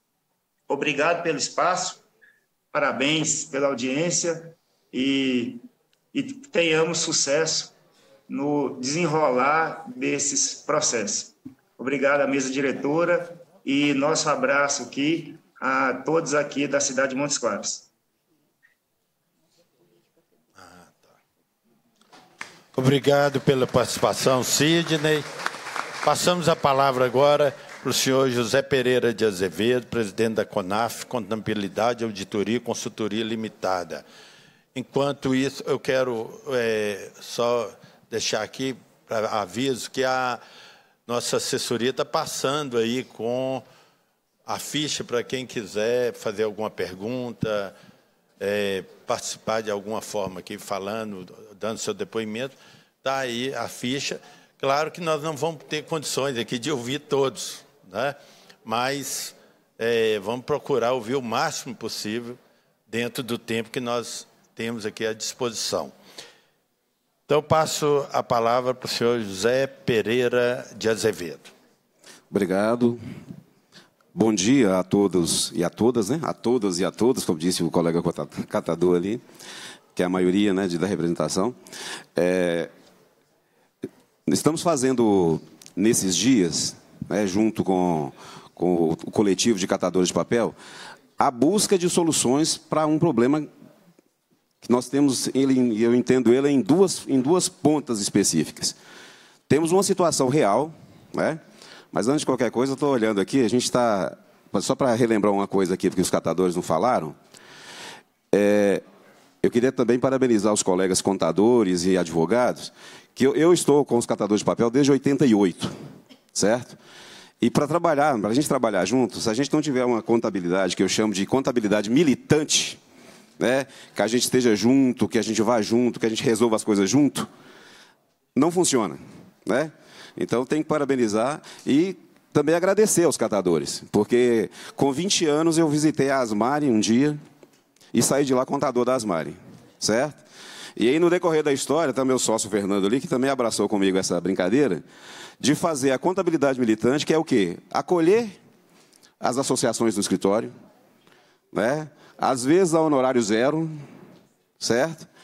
É, às vezes a interromper os honorários para que elas re recuperem a vida, porque se não for dessa maneira, a gente não ajuda a crescer. Né? E, e, os profissionais, os técnicos que aqui estão, eu às vezes falo um pouquinho em nome deles também, se a gente não fizer essa, esse trabalho militante também com os catadores, e eu me orgulho demais de chegar aqui, vendo ele sentado ali, tem Marizene ali no fundo, ó, tem a, a, o povo ali da Comar que está representado ali no fundo, né? É, que a Madalena, que está aqui também do pessoal de que, tá, que, que participou desse crescimento ao ponto de vocês estarem sentados nessa mesa aqui, né, ombro a ombro, para discutir política pública, para conversar sobre essas coisas. Certo? É isso. Então, eu venho dar minha colaboração aqui hoje, deputada, no sentido de que nós temos uma realidade, primeiro, que essa realidade, o direito, é, o direito tributário, a contabilidade em si, e o direito em especial, ele caminha conforme as coisas vão acontecendo. Né? O direito ele, ele não é estático, ele tem que ter condições de movimentar. E nós temos uma situação que foi colocada ontem. Nós temos aqui uma lei do indeferimento, que na sua, na sua conotação de regra geral, né, for, corta um pedaço da lei e diz, ó, nesse caso especificamente, haverá tributação. Só que o catador de papel, ele tem que sair fora dessa regra geral. Tá certo? Essa conversa, ao observar esse público, o direito tributário tem que conseguir fazer com que o catador seja fora dessa regra geral. Tanto que o texto que foi colocado aqui para a emenda, aquele parte lá que se trata de retroagir, eu acho que ele, ele, ele, tipo assim, ele é sine qua non, tem que acontecer. Por quê? Porque nós temos um fato real. Aqui está representado algumas associações que já foram fiscalizadas, certo? Já estão com o processo em andamento e que, se esse processo ir a cabo, ele vai inviabilizar o projeto. Certo? Então, o fato de, na, no processo, no bojo do processo de discussão da lei, trabalhar a hipótese da anistia do que já foi, do que já foi levantado, porque o Estado está fazendo o quê? Naturalmente, né, pelos robôs aí da, da, tecnologia, vão levantar todas as associações. Então, a gente vai inviabilizar todo o funcionamento dessa cadeia produtiva certo? Se não houver também, além da mudança daqui para frente, que isso retroaja ou de alguma maneira, interrompa a execução dessas cobranças. Isso é, isso é imprescindível. Outro ponto é que, não foi falado também no início, que cada pessoa que aqui está, em nenhum momento ninguém falou em clandestinidade, em voltar a trabalhar de outra maneira. Está todo mundo falando aqui de formalização. Tá certo? Está todo mundo formal aqui, ó, tem CNPJ, tem inscrição estadual, está sujeito à tributação, virou sujeito da tributação, certo? E isso, para eles, né, eu falo aqui também porque eu ajudo a resolver isso, é, é a coisa que eles não abrem mão. Eu não quero voltar para a clandestinidade, não quero trabalho diferente. Né? O Bolsa Reciclagem é uma consequência de um processo de formalização que os catadores se propuseram a fazer. Né? Então, aqui nós temos empresas representadas né, no segmento da, da coleta seletiva, certo? Então, por isso, é, nas discussões, tem que considerar esse ponto também, porque os catadores não querem, não devem e não vão voltar para o trabalho clandestino, de, de, né, de, de, trabalhar de outra maneira. E sim, quero sim emitir nota fiscal, quero sim ter um CNPJ, quero sim ter um, um programa de controle. E prova disso, que o balanço, o balanço social do, do Estado de Minas Gerais, através através da, da, do processo da Bolsa Reciclagem, com toda certeza publica lá o volume de coleta que está sendo feito através da informação que o catador de papel apresenta no momento em que ele emite a nota fiscal e entrega esse, esse banco de dados para o governo. É, outro ponto é, importante também, e que precisa ser, ser considerado, é que a quantidade de material coletado, a quantidade de material coletado, se fosse possível ou se houvesse a possibilidade, aí também eu reitero aos deputados. Claro que o ICMS tem uma legislação específica. Ele é um imposto que é, é circulação de mercadoria. Pressupõe que eu fiz uma aquisição de mercadoria, comercializei essa mercadoria e, por óbvio, eu tenho um resultado de tributação, correto? De imposto a pagar ou a receber. Só que o catador de papel, ele faz o caminho inverso disso. Ele vai, faz a coleta seletiva, coleta ele mesmo o material, traz para dentro da associação e faz a comercialização. Vocês concordam que está faltando um, uma, uma parte aí? Se eu tivesse condições, e por isso que eu digo que o direito tributário é maleável, ele, ele acontece em função da, da situação, se eu pudesse, se eu posso, dar ao catador o direito de utilizar o ICMS na entrada da mercadoria, o Estado de Minas Gerais estava devendo milhões para cada um de vocês. Tá certo? Porque, porque, porque essa, essa, esse ato de não poder aproveitar o ICMS na entrada, certo? me, me pune no momento que eu faço a venda, certo? Então eu não tenho ICMS na entrada, faço a venda já tributado, em função desse, dessa vírgula aí no diferimento que separa as empresas optantes pelo Simples Nacional. Então eu pago um ICMS sem direito à compensação da entrada da mercadoria. A legislação, nesse ponto específico, tratando o catador fora da regra geral, tem sim condições de dar ao catador condições de aproveitar esse crédito. Certo? Poderia ser uma ferramenta adotada caso não, não, seja, não seja procedente ou não, ah, ou não haja maioria nesse, nesse, nessa, nessa solicitação feita pela deputada aqui na emenda parlamentar. Certo? Então, nessa perspectiva, nós poderíamos ter uma outra ferramenta para poder o catador de papel, respondendo aqui a deputada Leninha, para dar ao catador de papel condições de compensar esse CMS, certo? Levando em consideração uma legislação específica que trata da entrada da mercadoria dentro da coleta seletiva. Como eu não compro de ninguém, eu não tenho como aproveitar o crédito, consequentemente, não tenho como, como, como descontar na minha venda. Isso sem afastar, gente, a regra do diferimento, que deve continuar. Porque tem que ser incentivado a coleta seletiva, tem incentivado a, as outras situações. E, e outra situação específica também, que vou só reforçar, que já foi falado pelos colegas aí, é, em Belo Horizonte, na região metropolitana, nós temos grandes empresas que fazem a aquisição desse material, que a Nelly chamou com propriedade ali de atravessadores, certo? A luta do movimento, desde 88, é por independência. É de ter condições de conversar, do mesmo jeito que estão, estão sentados aqui nessa mesa, de conversar com o empresário, conversar diretamente com a indústria e vender diretamente esse produto. Certo? Então, por isso a busca da legalização, por, por isso a busca da regularização. Só que tem um, esse detalhe do indiferimento, ele trava a situação, por quê? 99,9%, ou quase isso, das empresas brasileiras registradas hoje são simples nacional, com faturamento de até 4 milhões e 800 mil reais por ano. Então, isso, né, se você pegar, se você olhar aí no horizonte das empresas, né, você vai conseguir destacar poucas que estão com faturamento superior a isso. E é por óbvio, se eu sou empresário e posso estar nesse, segmento, aproveitar essa tributação mais favorável, eu vou ficar no Simples Nacional, certo? Mas o principal de tudo, quem está no interior não tem escolha. Não tem escolha. Para você poder coletar, né, vocês me corrijam se eu estiver errado, nessa história toda de. Né, nós, nós já tivemos aí junto nos galpões, medindo, fazendo contagem dos, dos, dos fardos para a gente ver se juntava uma carga para vender direto. Todo mundo lembra disso aí, faz isso até hoje. Então o que acontece? Para você juntar um caminhão de fardos de determinado produto específico, tipo um Tetra Park, você tem que coletar muito. Você tem que andar muito. Né? Vocês andam muito, vocês coletam muito correto? Para aí você ter condições de ligar lá, digamos, a Lohane é proprietária de uma empresa, você, você vem aqui buscar esse material? Aí tem o frete, tem outras coisas. Então, então o, pequeno, o pequeno produtor de material lá no interior, ele não tem escolha. Ele vai ter, sim, toda hora, uma outra pessoa, pessoa jurídica, que interessa no material dele, para comprar, e ela é simples nacional. Então, esse ponto que está na lei, específico, ele condiciona 90% dos catadores que estão fora da região metropolitana a tributação específica, certo? E, mesmo aqui em Belo Horizonte, nós temos materiais aqui, gente, que não interessam aos grandes, aos grandes. Não interessa aos grandes. Então, por exemplo, você tem uns produtores de saco de lixo, de sacolinha de supermercado, esses caras, as buchas, esses caras são pequenos também, certo? Estão dentro do Simples Nacional. Então, ou você, e se você chegar para ele e falar, não vendo um bom material para você, que para você, ao invés de 10 centavos, tem que ser 20 porque eu vou descontar o tributo para chegar no aceitável. Aí você perde o seu cliente também. Tá certo?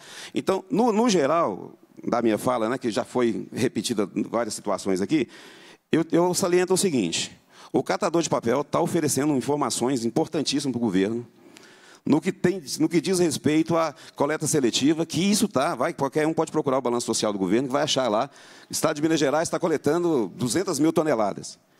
Quem deu essa informação? Vocês. Né? Por quê? Porque vocês se atreveram, se atreveram, levantaram a cabeça e disseram, vamos ser formal. Vou abrir uma associação com CNPJ, com inscrição, vou emitir nota fiscal, vou cadastrar todos os associados lá, como a gente faz, né, com a carteirinha bonitinha, produção individual, as, as cooperativas também do mesmo jeito. Isso é um atrevimento você não deveria ter feito, tá certo? Então, como vocês se atreveram a fazer isso, vocês agora são empresas, são associações, são cooperativas, e com base nisso, Volto a falar de novo do direito né, e da contabilidade aqui. A lei está aí para ser interpretada a função da realidade.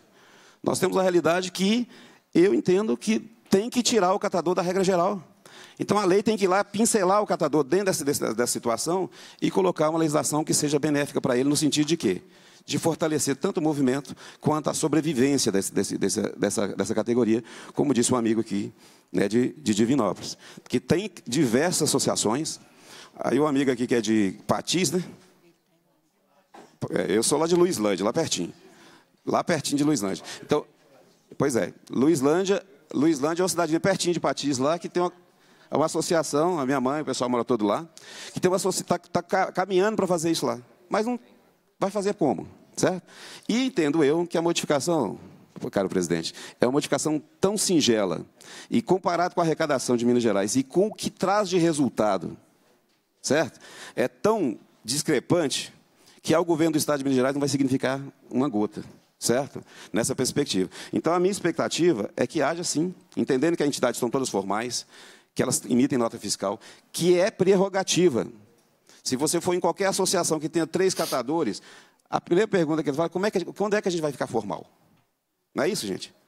Quando é que eu vou formalizar? Porque a, a ideia de ter um bolsa reciclagem está condicionada a eu emitir uma nota fiscal. Então, se eu sou um catador de papel, que não estou numa associação, que eu não tenho condições no, de, naquele coletivo, ter esse guarda-chuva que me sustenta no sentido de emitir uma nota fiscal, eu não consigo participar do Bolsa Reciclagem. E aí, o governo me fornece um Bolsa Reciclagem aqui de X valor, que eu não vou mencionar valores, mas. E me te dá uma tamancada de 18% aqui no seu faturamento. Certo? eu praticamente estou devolvendo ao governo o que ele disse que me deu. Tá certo? Então, que se mantenha. Não estou não tô lutando contra a Bolsa, pelo contrário, quero que ela, que ela aumente. Né? Que a Bolsa permaneça, que o diferimento permaneça, mas que o catador de papel seja tratado fora dessa regra geral colocada aqui. E que tenha e que esse decreto, essa, essa, essa alteração solicitada aqui também, porque a minha preocupação também está com o dia de hoje. Os deputados, quem já, já fez a opção de parcelamento, tipo, uma associação que tira 200 reais por, por pessoa, você tem que pagar 2, 3 mil reais de parcelamento por mês? Certo? Você inviabiliza. Você dificulta até uma empresa comercial aí que está disputando o mercado. A associação de catador, então, fica praticamente inviável. E eu tenho certeza que quando finalizar o, processo, o procedimento do Estado, que é automático. Inclusive, eu conversei com o fiscal, né, que, que acompanha, que mandou uma, uma comunicação primeiro para depois mandar a notificação. Isso está sendo processado automático. Então, vai chegar em todo mundo que, porventura, está no interior e está negociando com o Simples Nacional. Sem, sem chance. Então, eu pediria duas coisas. Uma, que ao, ao, ao buscar a aprovação dessa, dessa mudança, que se mantenha a data retroativa, que aí cada um pode voltar administrativamente e pedir o cancelamento do, da intimação. Caso isso não passe, que se trabalhe o Instituto da Isenção, o Instituto da Anistia, certo? Específica nesse pedaço, nesse público específico que é o catador de papel e as associações e cooperativas de catadores. É isso. Muito obrigado.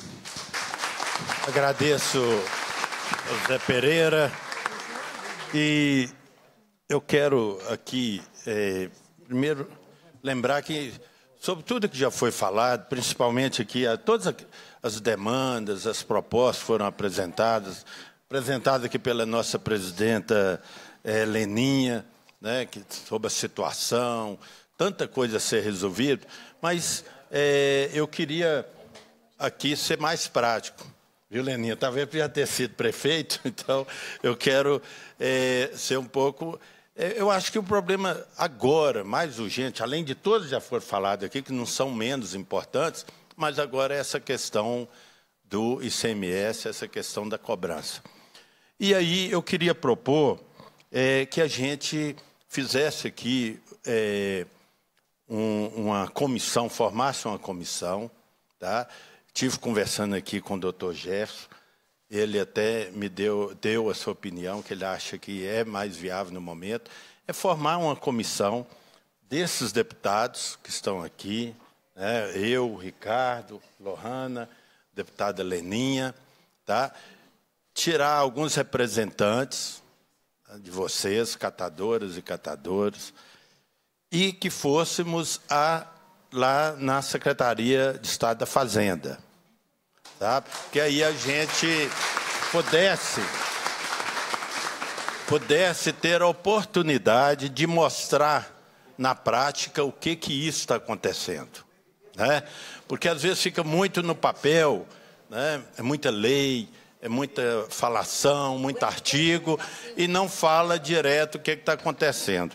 Então nós vamos fazer aqui, apresentar um requerimento, vamos votar no final aqui.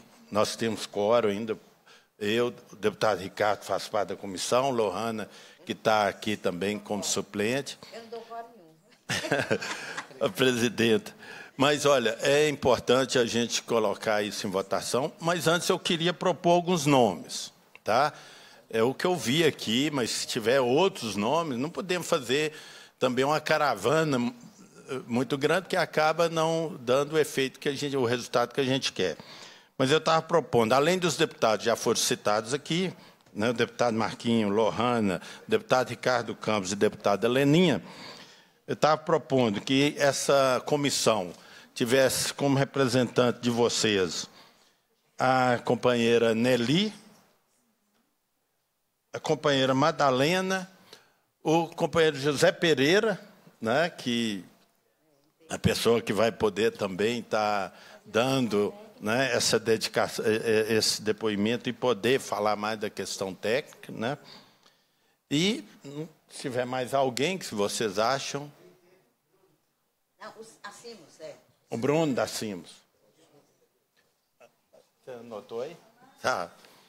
Aí nós vamos fazer o requerimento, vamos colocar em votação para poder oficializar essa, esse pedido de, de reunião lá com a Secretaria de Estado da Fazenda.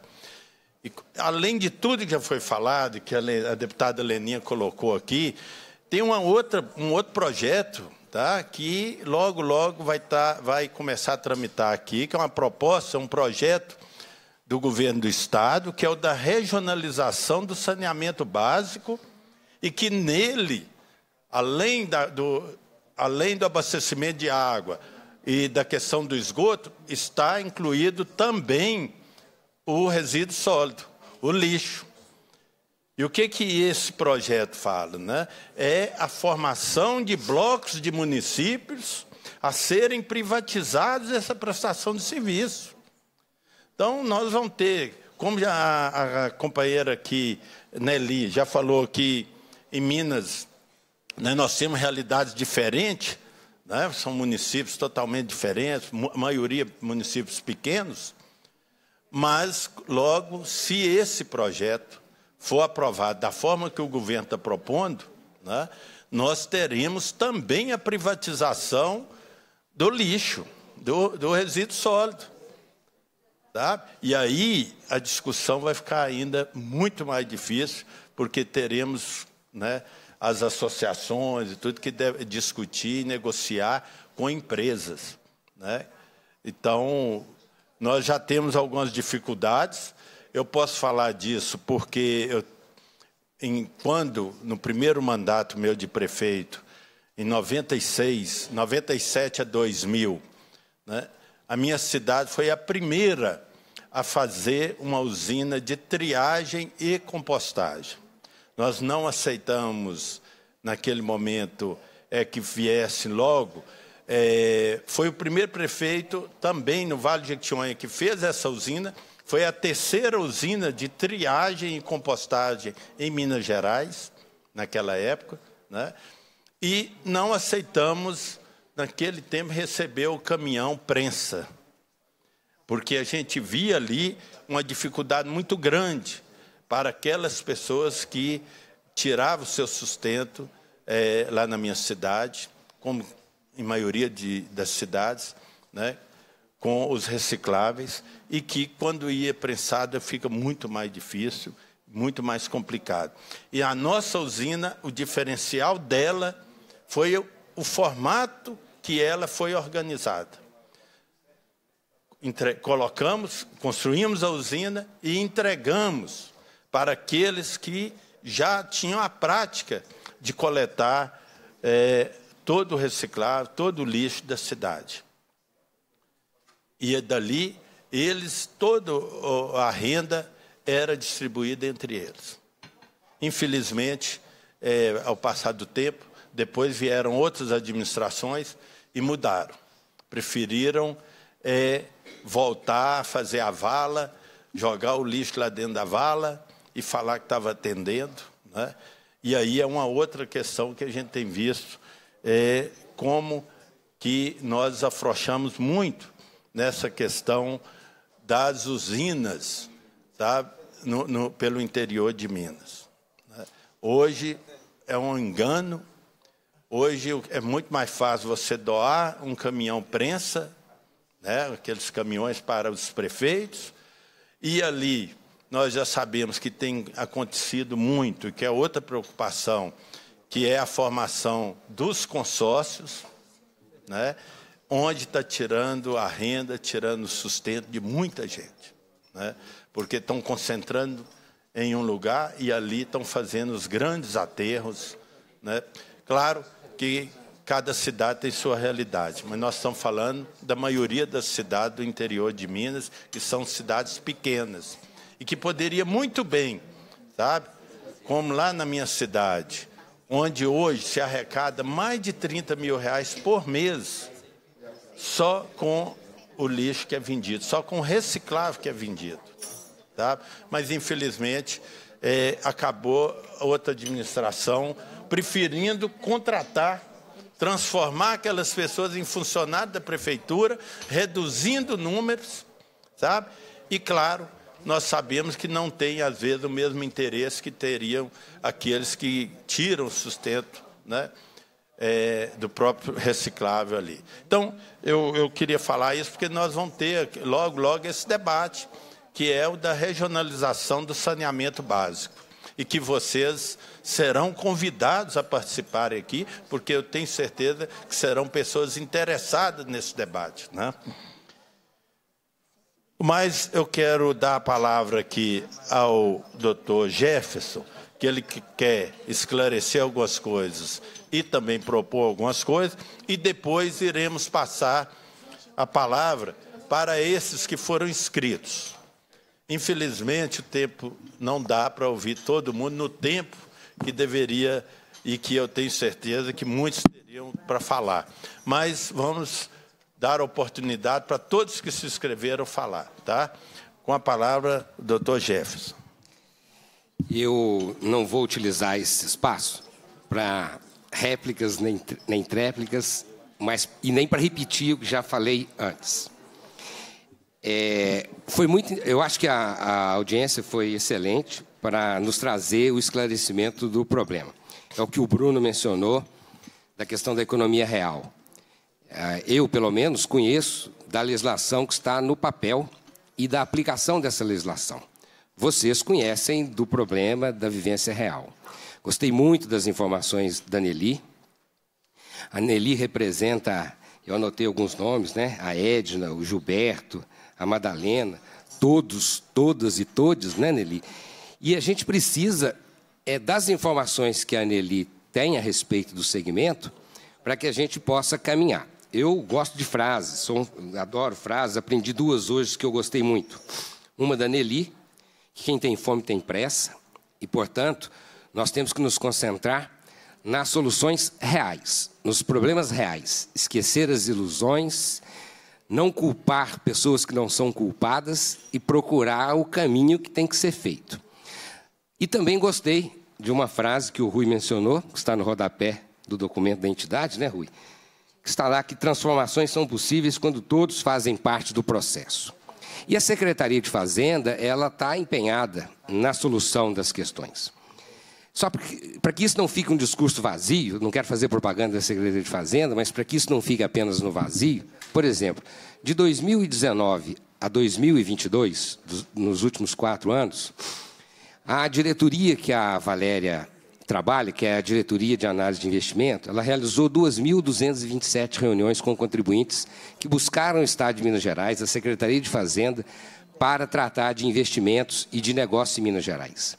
Nesse período de 2019 a 2022, é, a gente assina um documento que chama Protocolo de Intenções com as empresas que querem vir para Minas Gerais. Nós assinamos é, esses compromissos considerando 236 bilhões de investimento para Minas Gerais e a criação, a geração de 120 mil empregos. Então, esta é uma realidade da Secretaria de Fazenda. Para a proposta que o deputado Marquinhos Lemos fez é excelente de vocês irem à Secretaria de Fazenda para que a gente conheça a economia real. Para mim está muito claro, e eu não tinha essa visão no início da reunião, até disse que estava perplexo, né, porque não tinha problema em relação à, à tributação do ICMS internamente, mas depois de tudo que nós conversamos, para mim está muito claro de que ninguém questiona a importância do segmento. Então, esse assunto não precisa ser levado para a reunião para a Secretaria da Fazenda. Ninguém tem dúvida quanto à importância do trabalho de vocês para a sociedade, para a sustentabilidade, para o futuro do país, para o futuro do mundo. Então, esse assunto não tem divergência em relação a isso. Também está claro para a gente que o diferimento não é solução. Não é? A proposta que está aí na legislação é insuficiente para resolver a situação de vocês. Uma outra coisa também que precisa ficar clara é que a solução passa por um convênio aprovado pelo CONFAS. Não há outra solução. Eu dei o exemplo do armamento destinado aos policiais, militares, civis, pessoal da segurança pública, que nós não implementamos, porque não podemos implementar. É, em razão da Constituição e das leis complementares, nós temos que ter um convênio aprovado por unanimidade no CONFAS, e também temos que avaliar a questão da lei de responsabilidade fiscal. O Bruno perguntou do impacto, o impacto deve ser muito pequeno. Acredito que a lei de responsabilidade fiscal não seja um óbvio, mas o que vai fazer com que a gente tenha essa análise são os esclarecimentos que vocês irão levar, o que a Nelly vai levar, o que a Madalena vai levar, o que o José Pereira vai levar e, eventualmente, o Bruno e os demais deputados. Então, para essa reunião, as informa a, gente, a gente vai precisar entender exatamente como é que vocês estão estruturados e como é que vocês funcionam. Porque é a partir disso e é que a gente pode construir a proposta de convênio e, eventualmente, de tratamentos tributários. De 2015 até agora, nós já é, padronizamos tratamentos tributários para, 20, é, para 68 segmentos econômicos e continuamos padronizando. É, nós, temos, nós temos tratamento tributário para contribuintes que, em Minas Gerais, é, utilizam material reciclável como insumo. Pode ser que vocês não conheçam esse pessoal.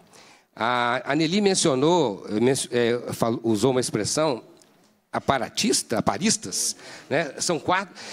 Isso é, é, nós estamos falando de uma pessoa que está na frente, de, pelo que eu entendi direito, né? É, é, nós, nós temos, então, é, e, e aí a Secretaria de Fazenda, ouvindo como vocês funcionam e como vocês estão estruturados, a Valéria me lembrou aqui, por exemplo, que nós temos queixas do pessoal que produz é, as latinhas de alumínio e também a garrafa PET. É, nós temos uma empresa em Minas Gerais que é, todas as garrafas dos refrigerantes e das águas, ou uma parcela é, substancial dela, é feita com a, a, a, o plástico reciclado de outra garrafa. E ela é, queixa que não tem é, oferta suficiente no estado de Minas Gerais. Então, nós teremos condições de, entendendo como que vocês funcionam, verificar o que, que a gente já tem hoje em Minas Gerais que pode direcionar. Nós temos, é, foi mencionada a questão da, da, da fronteira, nós temos tido um, um, esforço enorme de atrair investimento para a área da Sudene de Minas Gerais, com tratamentos tributários mais eh, benéficos ainda, dentro do que o CONFAS permite, dentro do que a lei de responsabilidade fiscal também permite. Então, a partir dessa conversa na Secretaria de Fazenda, nós podemos tanto caminhar em relação ao convênio, que resolve o problema imediato, lembrando que não basta a Secretaria de Fazenda apresentar o convênio no CONFAS. Sem o convênio não é possível resolver o problema. É importante que vocês saiam disso sem ilusão de que existe um outro caminho para resolver sem o convênio. Não há. Não há possibilidade. Tanto para o daqui para frente, que é substituir o diferimento pela isenção, como resolver a questão que o Rui mencionou e que o José Pereira também falou. Porque não é só daqui para frente. Nós temos que pensar também na questão do, do, do, passivo tributário, que vai surgir realmente. Quer dizer, nós fazemos isso por cruzamento de, de dados, isso não independe do, do, do trabalho humano, e a Secretaria de Fazenda cumpre o que está na lei é, é, nós aplicamos o que está na legislação. É, a exigência é um ato de ofício, né? a atividade é vinculada, não há solução. Então, nós precisamos caminhar nessa linha da isenção e da remissão, mas via convênio. Isso é importante que vocês saiam é, daqui com essa, com essa informação. Eu espero né, é, poder participar dessa reunião. Certamente a Valéria participará dessa reunião, porque é da área lá da diretoria de análise de investimentos. E é nessa reunião que vocês terão a oportunidade de detalhar todo, é, toda a cadeia de, produtiva de vocês, os destinatários, e da gente também encontrar outros parceiros que eventualmente vocês possam vender é, e também talvez não tenham conhecimento disso, ou a gente ajudar a atrair esses um, outros, outros compradores é, para o estado de Minas Gerais. Eu quero, então, finalizando, né, repetir o agradecimento que fiz inicialmente da oportunidade de, de participar. É, a Secretaria de Fazenda de Minas Gerais ela já passou por duas avaliações do BID, que é o Banco Interamericano de Desenvolvimento. Nós somos a melhor administração tributária do país. Então, nós não, isso não é, é então, nós estamos acostumados com isso. Nós queremos entender o problema, não queremos atrapalhar os negócios, pelo contrário. Né? Isso tem, não é um discurso, nós temos feito isso há muitos anos. Né? Então, estamos esperando vocês lá, será muito bom, foi muito bom participar, entender o problema de vocês e Pensem nisso, a Secretaria de Fazenda não é parte do problema, é parte da solução. E ela passa pelo CONFAS. Isso é muito importante para que ninguém fique iludido quanto ao que pode acontecer daqui para frente, tá bom? Muito obrigado. Obrigado, doutor Jefferson. Antes de passar a palavra aqui para a deputada Lohana, eu, eu só queria chamar a atenção aqui que nós, é, eu estava olhando aqui, na revisão, deputada Lohana, na revisão do PPAG que nós fizemos no ano passado, e onde apresentamos as propostas para o orçamento desse ano, né, é, nós colocamos 500 mil reais para a, para a SEDES, é, na operacionalização do Centro Estadual de Defesa dos Direitos Humanos da População em Situação de Rua e catadores de materiais recicláveis. É, nós, isso era execução direta, quer dizer, a SEDES que teria que executar, tem que executar. Até o momento, a SEDES ainda não manifestou para a comissão onde e como que ela vai estar aplicando esse recurso. Então, se isso não acontecer até o, ainda em poucos dias, aí, nós podemos sim fazer aqui a indicação de uma entidade para utilizar esse recurso. Aí eh, eu queria ver com vocês, né, seriam 500 mil reais para a gente desenvolver algum projeto é, dentro desse tema que seria com os materiais, os catadores de materiais recicláveis de aqui está para Belo Horizonte, tá? Mas aí eu vejo, eu podia ver aqui, olhando aqui com a Nelly, porque tem que ter uma entidade que esteja legal, apta, né, e toda é, legalizada junto ao CAGEC. Aí o Zé Pereira depois pode estar tá, tá ajudando, a, a, orientando também. E coloco lá o meu gabinete, a assessoria que tenha usado, é, que tenha acompanhado tá, a aplicação e o desenvolvimento de todos os convênios que foram aprovados no PPAG então, fica à disposição lá para vocês poderem. Então, deputado, eu acho que os catadores que estão aqui presentes, né, não vão me deixar mentir, mas eu acho que hoje a entidade que tem acompanhado e conhece bem do trabalho dos catadores é o INSEA. Né? Acho que nada mais justo de que vá para o INSEA para poder fazer esse trabalho com os catadores de rua e com os catadores é, sócio-cooperados. A gente indica o INSEA. Então, depois o representante, junto com o Zé Pereira, né, pode estar procurando para que a gente possa estar também orientando tá, como que nós vamos estar fazendo junto à SEDES para que esse recurso seja liberado, claro, né, conforme o projeto que vocês irão apresentar.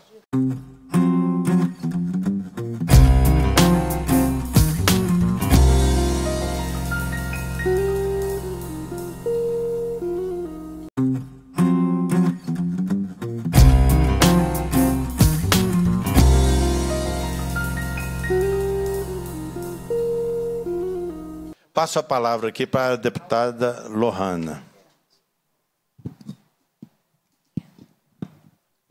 Boa tarde, gente, já que agora já é boa tarde. Só para a gente tocar em alguns pontos que eu entendo que são importantes, depois de ouvir tanto os representantes dos catadores, quanto o Ministério Público, quanto o Zé Pereira falando do ponto de vista técnico, contador. A gente ouviu o governo também. É, primeiro que nós já saímos daqui com encaminhamentos muito bons. Bruno, preciso te dizer que a sua pergunta em relação a qual que é o impacto dessa tributação sobre os catadores e as associações será feita, porque a gente acabou de assinar um requerimento coletivo aqui, o governo vai ter que responder para a gente qual que é esse impacto, o que que muda na vida do Estado do ponto de vista de arrecadação se essa isenção for concedida. A primeira coisa que a gente, a segunda coisa que a gente quer falar é que isenção é muito diferente de deferimento. Então, quando de diferimento. Então, quando o representante do governo traz aqui que não é cobrado o ICMS, se não fosse cobrado, o termo seria isenção. O termo não é esse. Tanto é que não é tanto é que é cobrado que vocês estão sendo cobrados. Então não dá para a gente negar uma dívida batendo na porta da nossa associação. Se for assim, então, baseado nessa fala, a gente pode pegar e solicitar a anistia dessas dívidas, já que não é cobrado, ué. Ou, mas é cobrado dependendo para quem vende, não sei o quê. Não. Então, nós fizemos essa alteração, eu e mais 18 deputados, fizemos essa alteração que precisa ser votada aqui na casa, justamente para deixar claro que o termo não é diferimento, o termo é isenção. O termo é isenção, porque os catadores são parte central da Política Nacional de Resíduos Sólidos, porque a gente falar de reciclagem sem falar de catador é lixo. Então não tem como nós fazermos esse processo sem chamar as coisas do que elas são e o que deve ser, nesse caso, é isenção. Também é importante dizer que a necessidade de um convênio ela não nasce nessa conversa aqui hoje, não. A necessidade desse convênio foi pedida em manifestação do Ministério Público Federal em 2018.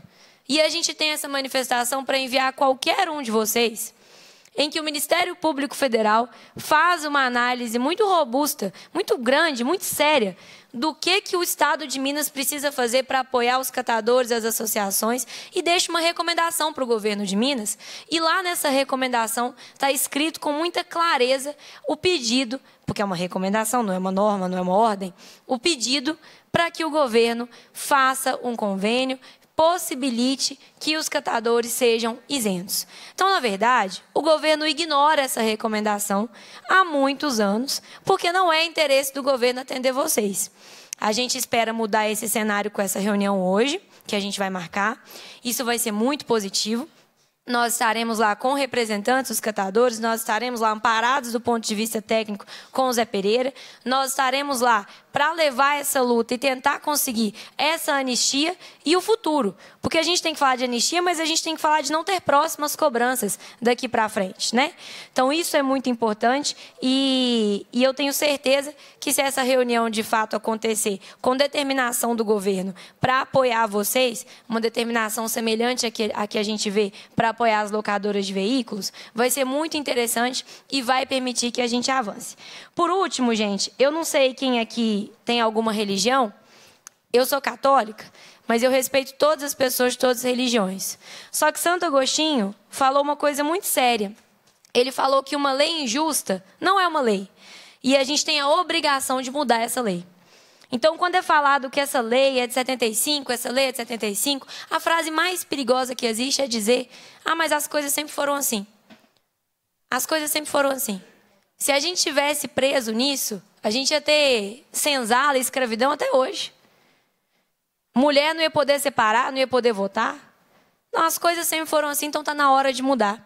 A nossa proposta, a proposta assinada por 18 deputados do Bloco Democracia e Luta, que eu agradeço muito aqui, é uma proposta para mudar. Então, essa reunião a gente vai tentar conseguir essa anistia das dívidas que vocês já têm agora. E essa proposta de alteração na lei do ICMS é para garantir que não haverá novas cobranças. Vocês podem ter certeza que a gente vai manter vocês informados de tudo e que vai ser muito produtivo, porque a gente vai cobrar e a gente vai caminhar. Quero agradecer novamente ao deputado Marquinho por permitir que a gente retornasse a palavra. E eu estou muito animada para ouvir todos vocês que se inscreveram para a fala. Tenho certeza que vai ser um momento produtivo de escuta. Obrigada.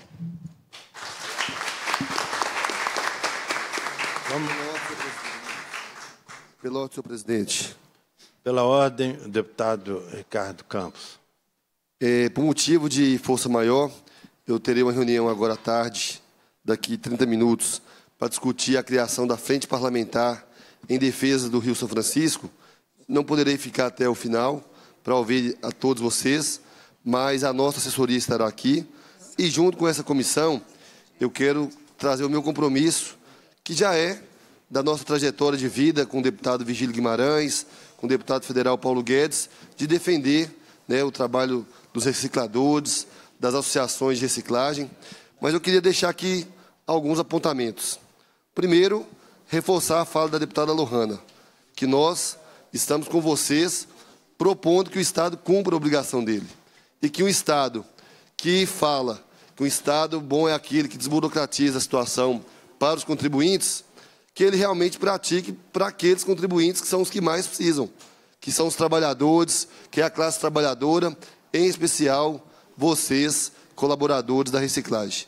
E aí, deputado Marquinhos, é, foi bem dito aqui pelo senhor Jefferson Nery Chaves sobre a legislação né, em vigor no Estado de Minas Gerais, que possibilita né, o aceite pela, pelo Estado da proposta apresentada pelas associações de catadores com relação ao regime tributário fiscal de isenção do CMS. Eu pergunto, se existe uma lei que considera a validade da isenção fiscal, por qual motivo que aqueles que têm direito à isenção fiscal têm que pleitear ela, uma vez que deveria ser automático para aqueles que mais precisam? Nós sabemos né, que as associações, não são todas elas que têm um amparo, um apoio de contadores, de mandatos de deputados, vereadores, para fazer um trabalho colaborativo. Então, o Estado, que fala que tem de ser menos burocratizado, menos burocrático, deveria implementar os sistemas de, de tributação automatizado. Porque as associações que estão aqui são associações sérias, são associações que não burlam o sistema, diferente daqueles que o Estado isenta, sabe-se lá de forma aleatória que é. E, por fim, deputado Marquinhos Lemos, também propôs, através dessa comissão que foi tirada hoje, para que os desdobramentos práticos sejam efetivados. Uma vez que nós sabemos, gente, que não é justo reunirmos para marcar nova reunião. O povo está cansado de reunir para reunir de novo. Então, presidente, eu sei que o nobre colega vai dar encaminhamento a essas proposições e que eu estarei junto com você, com a deputada Lohana e a deputada Leninha, e junto com vocês, trabalhadores, encaminhando a resolutividade das propostas aqui defendidas. Uma boa tarde a todos e eu peço a minha licença. Deputado Ricardo, peço só um pouquinho, eu vou suspender um pouco a, a parte que agora seria para ouvir né, os companheiros e as companheiras, nós vamos continuar, mas para não perder aqui a, a participação e principalmente o coro né, com a presença do deputado Ricardo, eu vou colocar em votação os requerimentos. Passa-se a segunda fase da terceira parte da reunião, que compreende o recebimento e a votação de requerimentos. Eu vou ler todos os requerimentos e coloco em votação todos de uma vez só. Requerimento em comissão 1678. As deputadas e os deputados que subscrevem requerem Vossa Excelência seja encaminhado à Secretaria de Estado da Fazenda, em Belo Horizonte, pedido de providência para que sejam recebidas em reuniões as deputadas e os deputados Leninha, deputada Lohana, deputado Marquinhos Lemos, deputado Ricardo Campos, representantes da Coordenadoria de Inclusão e Mobilização Sociais do Ministério Público do Estado de Minas Gerais, as representantes do Movimento Nacional de Catadores de Materiais Recicláveis, MNCR, e do Fórum Li Cidadania. Nelly de Souza Silva Medeiros e Maria Madalena Duarte, o representante do CONAF Contabilidade e Auditoria, Consultoria Limitada José Pereira de Azevedo, para esclarecer, para esclarecer a situação da tributação do setor econômico de sucatas, a fim de apresentar projeto de convênio junto ao CONFAS, com vistas à concessão de isenções e benefícios fiscais a esse setor, notadamente para as associações e cooperativas de catadores de materiais recicláveis, bem como discutir a atração de investimento para complementariedade da cadeia industrial de sucato do Estado de Minas Gerais. Assino o requerimento deputada Lohane, deputado Marquinhos Lemos, deputado Ricardo Campos, deputada Leninha. Requerimento de número 1571-2023. O deputado que subscreve requer que seja encaminhado ao, governa ao governador do Estado de Minas Gerais pedido de providências para o cumprimento do inciso terceiro do artigo 256 da Constituição do Estado de Minas Gerais, bem como o cumprimento do parágrafo 2 do mesmo artigo, que considera o dia 8 de dezembro o Dia dos Gerais, e que a semana que esse dia ocorre será denominada Semana dos, dos Gerais e que o governo de Minas deverá constituir períodos de celebrações cívicas em todo o território do Estado, sendo que o não cumprimento desse preceito constitucional enseja improbidade administrativa.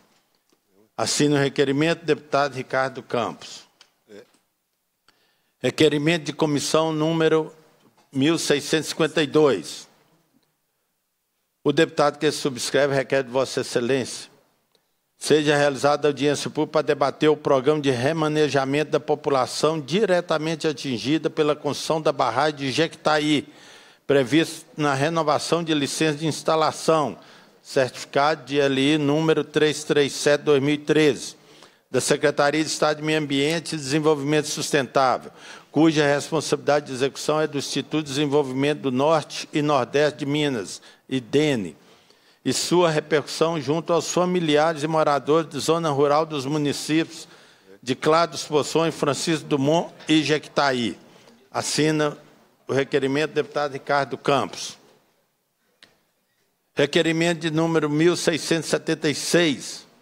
As deputadas e os deputados que subscrevem requer que seja encaminhado ao secretário de Estado da Fazenda em Belo Horizonte pedido de informações sobre o montante de receita de ICMS oferida para o setor econômico de sucatas, segregando-se tanto quanto possível em subsetores dessa cadeia econômica, para os últimos cinco exercícios e sua participação relativa no montante da receita total de CMS para o mesmo período. Assino o requerimento. Deputada Lohana, deputado Marquinhos Lemos, deputado Leninha e deputado Ricardo Campos.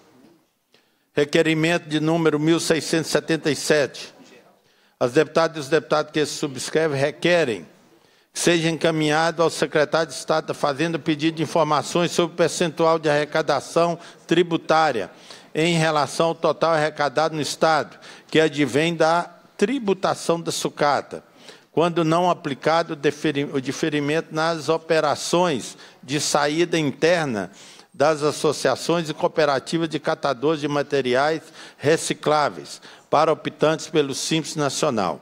Assina esse requerimento, deputada Lohane, deputado Marquinhos Lemos, deputada Leninha e deputado Ricardo Campos. Em votação, os requerimentos. As deputadas e os deputados que aprovam permaneçam como se encontram. Aprovado os requerimentos. retomando aqui a nossa audiência, vamos passar a palavra para que seja feito um uso de três minutos, tá, gente? Para Jaqueline Rutkowski, pesquisadora e consultora em reciclagem de resíduo, do Instituto Sustentar. Tem um, o microfone, está aqui do lado, pode.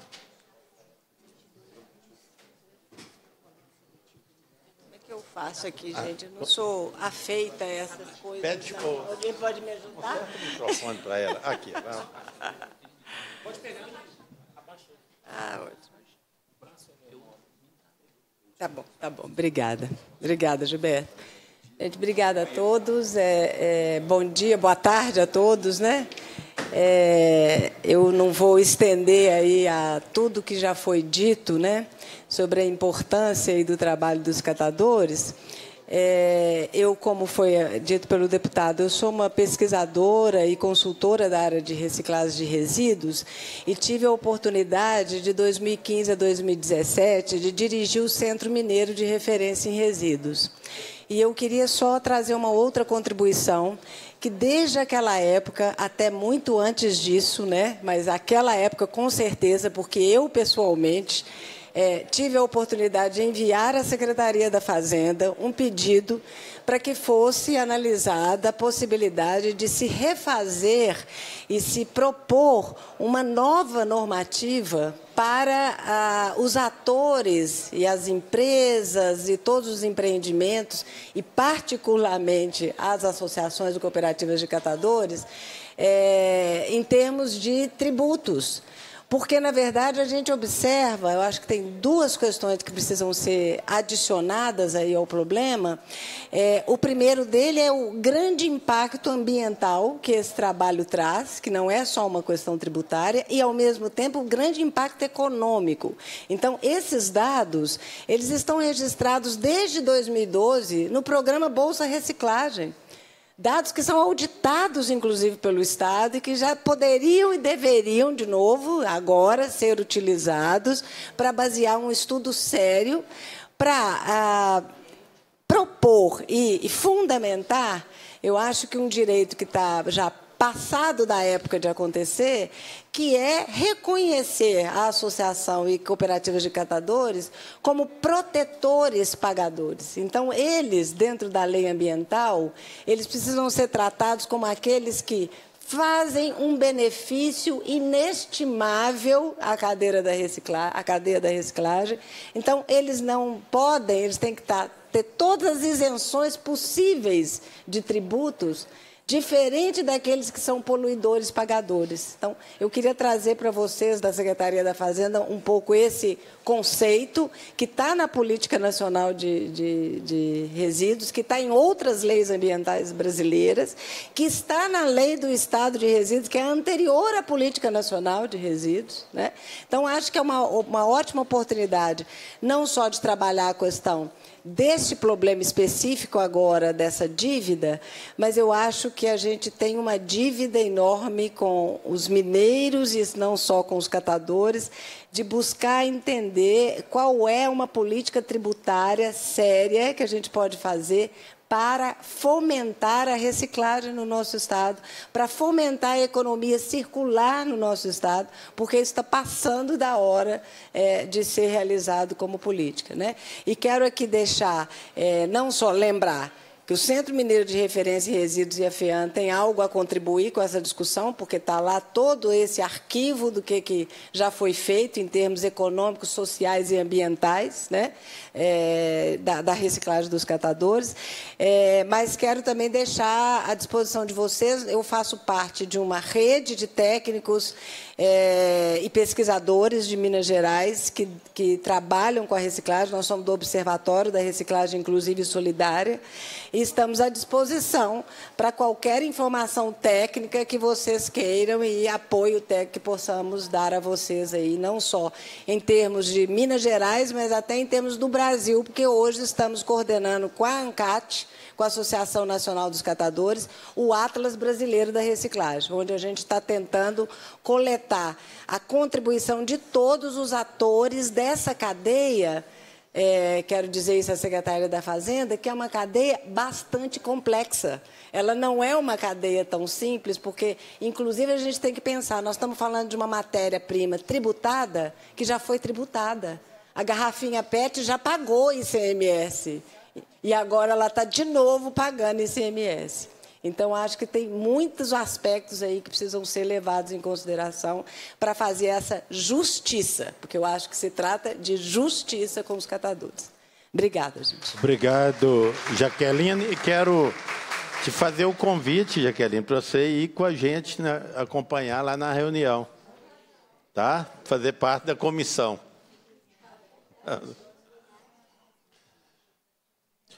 Com a palavra, a senhora Patrícia Sade, analista de gestão, RC8 Treinamentos.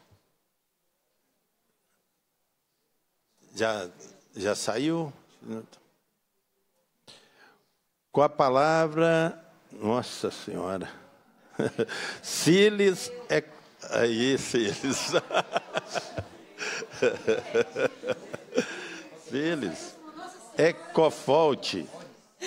Ai, gente. E cooperativas. É, e cooperativas. É, gente, boa tarde. Vou tentar ajeitar aqui, pronto.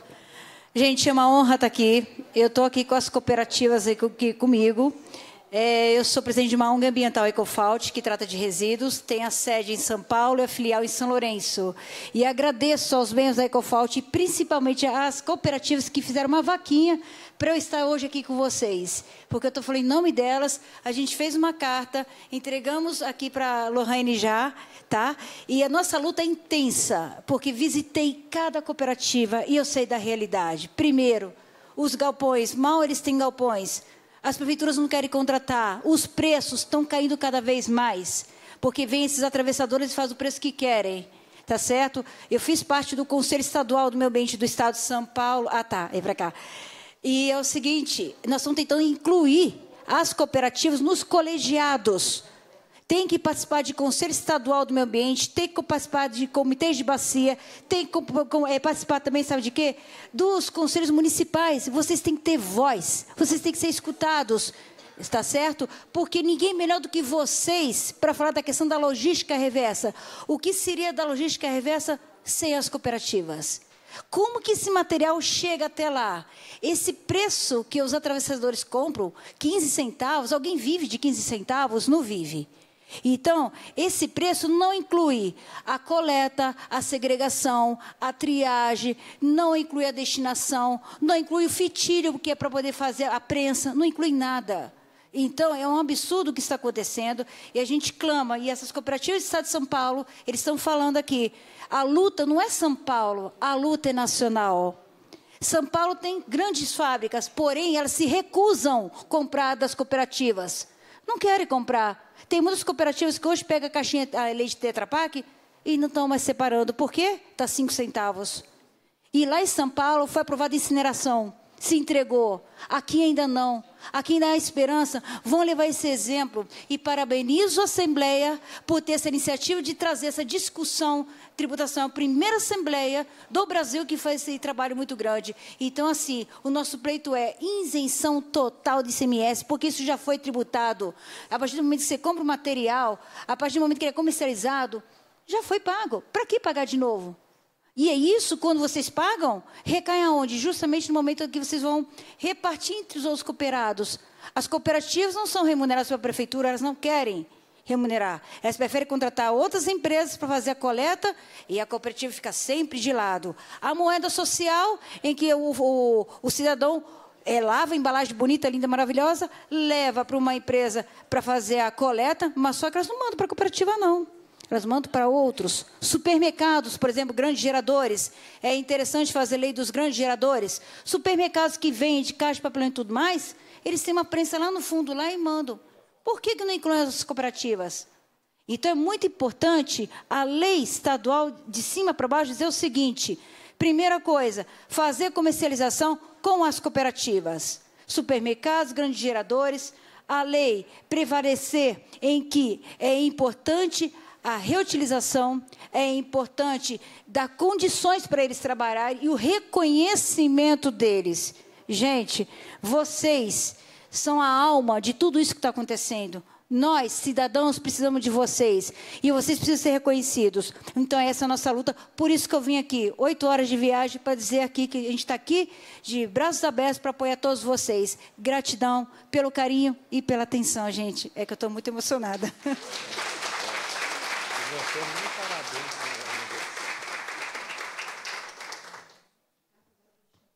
Obrigado. Obrigado, viu? Com a palavra o senhor Vinícius Vessiani de Paula, assessor parlamentar.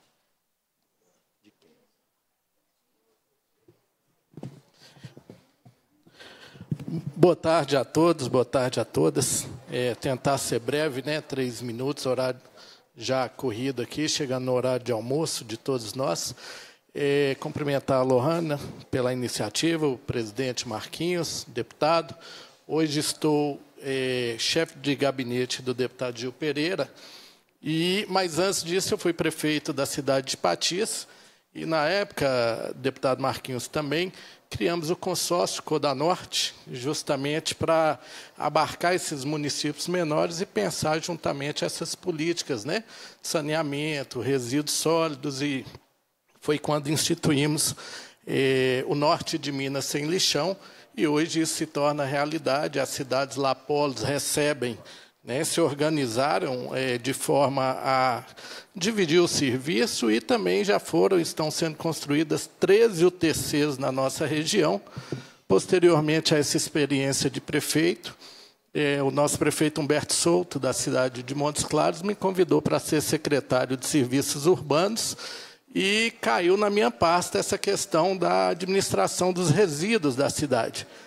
Então, hoje, é, mesmo que trazendo algumas contribuições, também, claro, aprendendo muito aqui com vocês e diante do que a gente ouviu. Mas eu não posso deixar de registrar que Montes Claros hoje é um exemplo em coleta seletiva. Montes Claros hoje avançou bastante com a gestão do prefeito Humberto Souto e do vice-prefeito Guilherme Guimarães. O vice-prefeito Guilherme Guimarães, inclusive, assumiu o meu lugar, a Secretaria de Serviços Urbanos, quando o Gil me convidou para fazer parte da sua equipe. E lá em Montes Claros, hoje, nós temos recursos para as associações. Montes Claros hoje paga o galpão das associações. Montes Claros paga a conta de água, de luz, assistência contábil. Montes Claros paga as associações pela tonelada é, reciclada, quando vendida é, por eles, e paga por quando o trabalho é feito direto para a associação. Então, tudo isso se deu à nossa busca do conhecimento. E como isso aconteceu? Vivenciando o problema de vocês, o dia a dia de vocês. Eu acompanhei tudo que vocês falaram aqui. Eu fui no lixão, eu vi abrir lixo, eu participei, fizemos o, a gravimetria dos resíduos, entendemos a quantidade de, é, dos resíduos que podem ser recicladas. Né? E aproveitar aqui para falar da nossa cidade é, como exemplo que isso é quase que uniforme no Estado, no Brasil inteiro. A possibilidade de reciclagem hoje é de em torno de 35% dos resíduos. Então, Montes Claros é uma cidade que paga 8 milhões e 800 mil por ano para enterrar resíduos, é fácil a gente fazer a conta que 35% desse valor poderia voltar para a economia cíclica.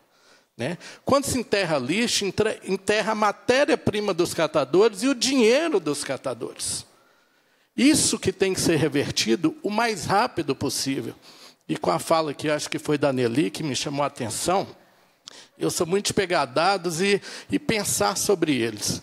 Alguns catadores dentro de um lixão tira 5 mil por mês e catadores dentro de associação tira de 400 a um salário mínimo também conheço essa realidade. Né? O que, que isso quer nos dizer? Quer nos dizer que a maioria dos recicláveis está indo para o lixão. E é essa lógica que nós temos que inverter. É claro, Lohana, que essa briga é, é, é, é, merecida e deve ser feita, e parabéns pela sua atitude quanto ao ICMS, mas ainda assim ele é um pouco é, insignificante na cadeia toda do, do resíduo. Estou sabendo agora dessas cobranças aí, João colocou, né, nosso conterrâneo lá, vizinho de Luislândia, também. Eu acredito que com as explanações técnicas aqui, isso já está bem resolvido. Né?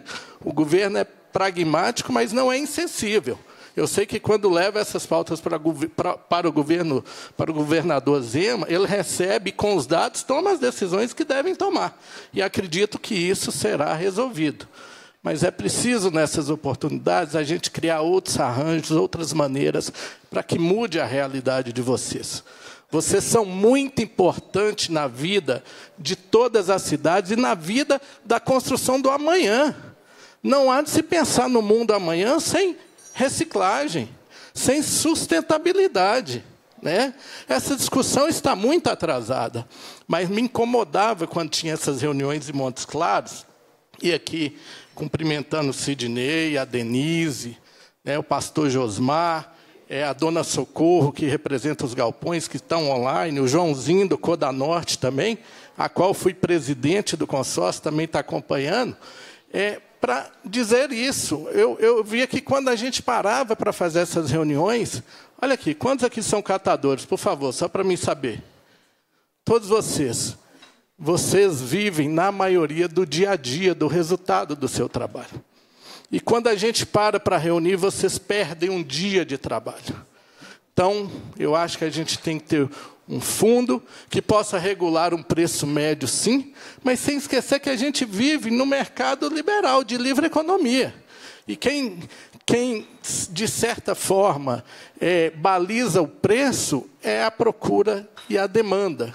Se a gente trazer para esse processo os verdadeiros responsáveis, vocês serão muito bem remunerados, porque vocês são funcionários públicos trabalhando de graça.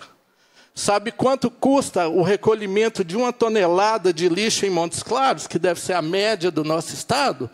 230 reais. Se vocês tiram uma tonelada de lixo das ruas de qualquer cidade, o poder público tem que pagar vocês os 230 reais. Porque se vocês assim não fizerem, esse gasto é do poder público. Então, essa forma que nós temos que encontrar, deputada e deputados, para remunerar os catadores, trazendo aqueles que é responsabilidade para assumir o seu papel.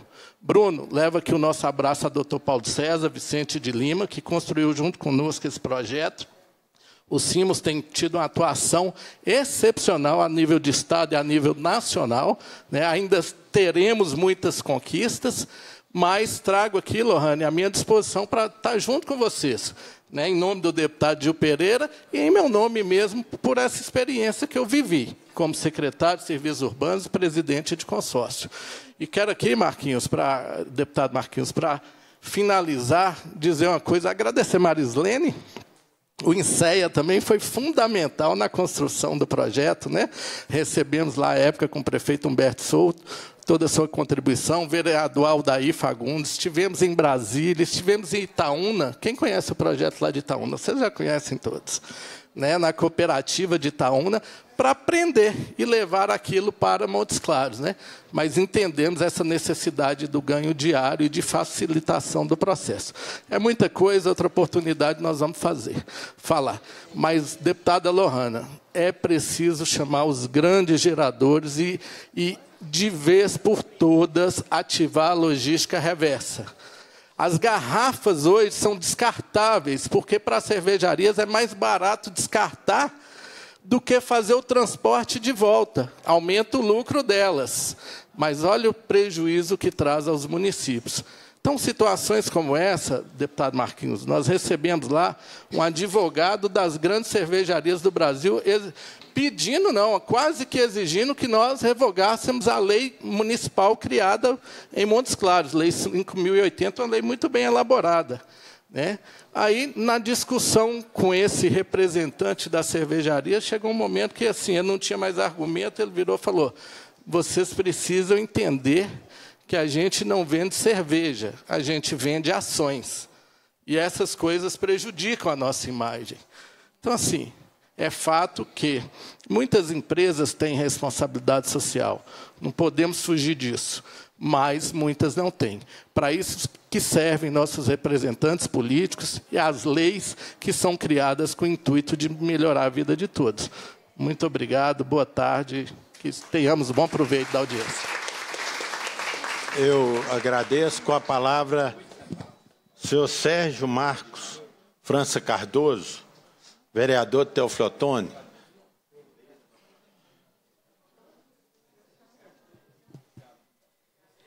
Boa tarde a todos e todas. Quero aqui cumprimentar a deputada Lohana, é, o deputado Marquinhos Reis, conterrâneo do Vale do Jequitinhonha, né? E dizer para vocês da honra né, de estar participando aqui. É, nossa amiga que, que esteve lá em Teoflotone, né, Nelly, participando com a gente, levando para Teoflotone essa experiência de como fazer esse trabalho importante. Naquela época, eu tive a oportunidade de estar secretário de Meio Ambiente lá na cidade de Teoflotone. Nós buscamos, Marquinhos, sabíamos da importância da coleta seletiva. Nós criamos lá em 2019 a coleta seletiva né, a, em Teoflotone, Recicla TO. E aí, hoje, nós temos na, na cidade de Teoflotone é, a associação Ascanove, e temos uma cooperativa, a Cojuve, onde o município tem dado total apoio a essas duas é, instituições, essas duas entidades lá em nossa cidade. São três caminhões que o município disponibiliza para a associação e para os catadores. Pagamos a Bolsa Reciclagem, pagamos os dois galpões né, e demos assessoria contábil, né, assessoria junto à organização, até na hora de fazer a carga, até na hora do transporte, o município de Teoflotone, na pessoa do prefeito Daniel Sucupira, tem dado esse apoio à coleta seletiva lá em Teoflotone. Então, estou vendo aqui que são poucos municípios que despertou para essa importância de ajudar vocês, que são os agentes ambientais nos municípios que faz esse trabalho gratuito, né? e, os estado, e o Estado e os municípios precisam de reconhecer esse trabalho. Então, aqui, importante que nós buscamos, através do Estado, reconhecer esse trabalho. Reconhecer colocando recursos. Por que não colocar no orçamento do Estado o incentivo, colocar no orçamento do Estado o apoio financeiro para fomentar as associações e fomentar as cooperativas e fomentar as coletas seletivas nos municípios? Nós temos que acabar com os lixões. E de onde que vai vir o incentivo? Para fazer né, os lixões têm recursos. Por que não tem recurso para fazer a coleta, para poder evitar que esse resíduo chegue até os lixões? Nós vamos diminuir a vida útil dos lixões, nós vamos gerar emprego e vamos estar gerando renda.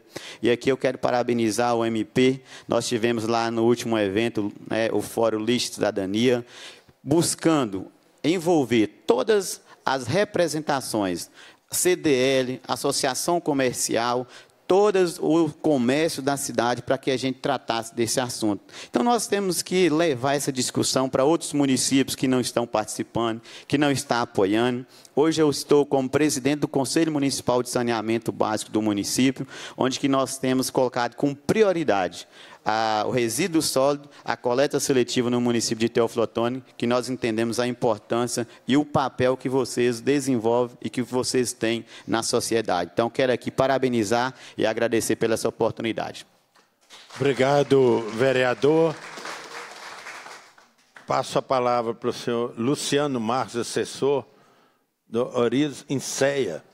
Eu quero, enquanto ele chega até o microfone, só registrar aqui é, recebemos também vários comentários é, aqui da Cooperu, também do Marcelo, presidente da Cooperativa de Catadores Cooperbem de Guarujá, São Paulo, está também nos acompanhando de forma remota. É, outro, Daniela, lá de Uberaba. Carol de São José do Rio Preto, é, da Copelagos de São José do Rio Preto. Temos também algumas perguntas, como a do Antônio, da Luênia, do Marcelo, da Coperu e da Carol. Mas as perguntas nós vamos estar respondendo, é, algumas já até foram respondidas aqui na própria apresentação e na fala dos companheiros aqui que já acabaram respondendo aqui as perguntas. Com a palavra, o senhor Luciano Marcos. Bom dia para todos e todas. Queria cumprimentar aí aos deputados, a deputada Lohane pela iniciativa, o deputado Marquinhos, cumprimentar todos os catadores e catadoras. Que bom a gente estar aqui junto, né? É, como diz o companheiro aqui na mesa, que saudades né, de, dos momentos que a gente encontra. Mas é muito bom estar aqui também na Casa do Povo, aqui na Comissão de Participação Popular, que foi nessa comissão que nasceram as grandes propostas que hoje nós temos em Minas Gerais. Foi com o protagonismo dessa comissão, deputado. E eu acho que é muito importante voltar a esse tema, porque quando a gente está falando, né, como a Jaqueline falou, nós estamos falando que a cadeia da reciclagem é uma cadeia de bens e serviços. Não é só uma cadeia de pobre, de mendigo, como muitas vezes o Estado enxerga. Nós estamos falando aqui de um importante segmento da economia, que envolve diversos atores, como foi lembrado. Então, o que a gente vê é, na, na, na, pauta cotidiana dos governos que entram e que saem, é jogar tapete para grandes empresas que chegam, que faz todo tipo de apoio, de isenção, que é, é, recebido com todas as pompas que o Estado oferece de tributos, né? isenção de tributos. E quando a gente olha aqui o poder que a reciclagem tem em todo o Estado de Minas Gerais, nós não temos a mesma relevância é, aos olhos do governo, que promove como indutor do desenvolvimento o mesmo tipo de atendimento. Então, por isso que é importante a gente voltar, começar a discutir justiça tributária, requer discutir é, novas formas de ver isso, como já foi lembrado aqui, que nós estamos falando de bitributação né, do sistema, mas nós temos a responsabilidade dos grandes geradores, né, que, que em Minas Gerais nós não temos ainda nenhuma regulamentação quanto a isso. Nós temos muitas pautas é, esquecidas né, aqui na, na própria Assembleia, como a regulamentação do fundo da reciclagem, que é previsto na nossa política estadual de resíduos, então, eu acredito que nós temos aí muito por fazer. É, é urgente esse, esse, debate, porque o planeta, o mundo exige. Acho que é uma pauta que ninguém aqui tem dúvida. E aí eu queria convidar é, a deputada Lohane, o, o deputado Marquinhos, para a gente liderar aqui é, na comissão, na Assembleia, a criação de um ecossistema cooperativo entre esses diversos atores que possam discutir e trazer a centralidade é, da questão. Se no passado essa casa aqui foi muito importante para discutir o fim dos lixões, para implantar o programa Bolsa Família, hoje tudo mudou. É, é necessário uma nova reorganização, é necessário um novo pacto entre todos aqueles que estão envolvidos. Então, queria deixar essa sugestão aqui para a Comissão de Participação Popular, que sempre foi aí a anfitriã desses grandes debates, para que isso não, não fique só aqui nesse encaminhamento urgente e necessário da justiça tributária, do problema das dívidas que estão aí nas cooperativas, que as pessoas não sabem como fazer, mas trazer os outros temas para o centro do debate, trazer o governo, trazer a sociedade, trazer as empresas, né, para a gente discutir. E acho que há uma boa oportunidade nisso. Nós estamos agora, acabamos de ter os dois decretos federais importantes, o decreto procatador, o decreto logística reversa, em que o governo federal sinaliza uma agenda positiva. Nós temos que aproveitar essa agenda, deputado Marquinhos, e trazer isso aqui para a centralidade dessa casa, como a Casa do Povo, que eu acho que é a responsável, porque muitas das questões não é só jurídicas, são questões políticas que precisam de definições importantes. Então, deixar essa contribuição, dizer que nós da rede do Observatório, como a Jaqueline falou aqui, nosso time de INSEA, do movimento, né? todos aqueles que abraçam essa causa, para a gente pensar uma nova repactuação de Minas Gerais, que sempre liderou as grandes mudanças do país. Minas Gerais sempre foi o centro de colocar os catadores de volta à visibilidade, como a Nelly falou, de tirar da invisibilidade. Então, que a gente possa, de novo, é, ter essa agenda positiva, urgente e necessário, nesse contexto de pós-pandemia, que nós ainda não aprofundamos os impactos que a pandemia trouxe para todo esse segmento, mas também a estagnação que nós tivemos no Estado na última década em termos de avanço. Nenhuma é, cadeia econômica se desenvolve sem incentivo. Nenhuma. O Estado brasileiro foi organizado em torno disso. E a cadeia da reciclagem é uma cadeia importante e que não envolve só catador. Isso é importante a gente frisar e é importante a gente reforçar aqui na, na comissão. Obrigado. Obrigado. Com a palavra o senhor Gilberto Warley Chagas, catador também da MNCR. É, Boa tarde, né? Já, tá quase, já quase uma hora da tarde. Não, mas é, a gente fica muito satisfeito, né, de é, ser ouvidos, né? É, a questão tributária, ela é muito importante mesmo para ser discutida, né? Mas não é somente a questão tributária, né?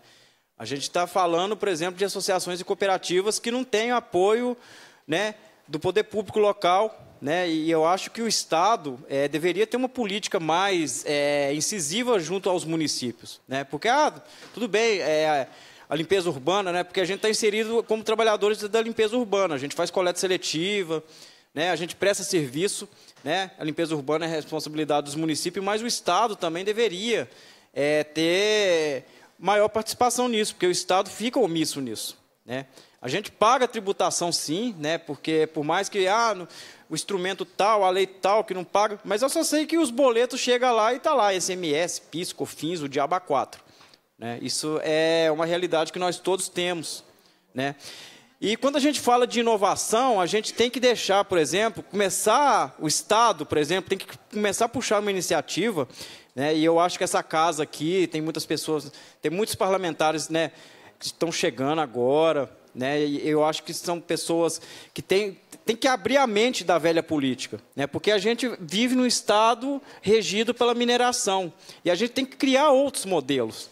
Né? Que inovação não é só inovação tecnológica, que a gente vira, vive na era digital, aquela coisa toda, tal, mas inovação na era, de, na era de gerar trabalho e renda. A gente tem que não ser somente dependente. Por exemplo, eu venho de um município que depende da mineração, que é um município aqui da região metropolitana, cidade dormitória, Sarzedo. Mas está lá, Camares, fazendo coleta né, e tal. Né? A gente conseguiu um apoio. É, um termo de fomento com a prefeitura, aquela coisa toda, tá? Nossa situação está razoável, mas eu estou vendo outras associações e outras cooperativas, outros companheiros, outras companheiras ganhando 200 reais, né? Isso é a gente está voltando, isso é trabalho é escravo, sendo que sendo que a gente trabalha para os municípios, né? Eu já ouvi, por exemplo, nessas andanças todas, né, Nelly? A gente já ouviu, por exemplo, o secretário de Meio Ambiente falar que coleta seletiva é perfumaria, é coisa dos europeus lá, Zé. O cara falou desse jeito. Né? Então, o nível dos nossos gestores né, em muitos locais aí. Né? Que o problema não é a pessoa é, é, ter uma formação simples, não. O problema é a pessoa, às vezes, é, ter, ter MBA, ser formado, não sei o quê, e ter uma cabecinha de ervilha. Né? Essa coisa do conservadorismo, como a deputada Lohane falou. Acho interessante isso. A gente tem que quebrar esses paradigmas.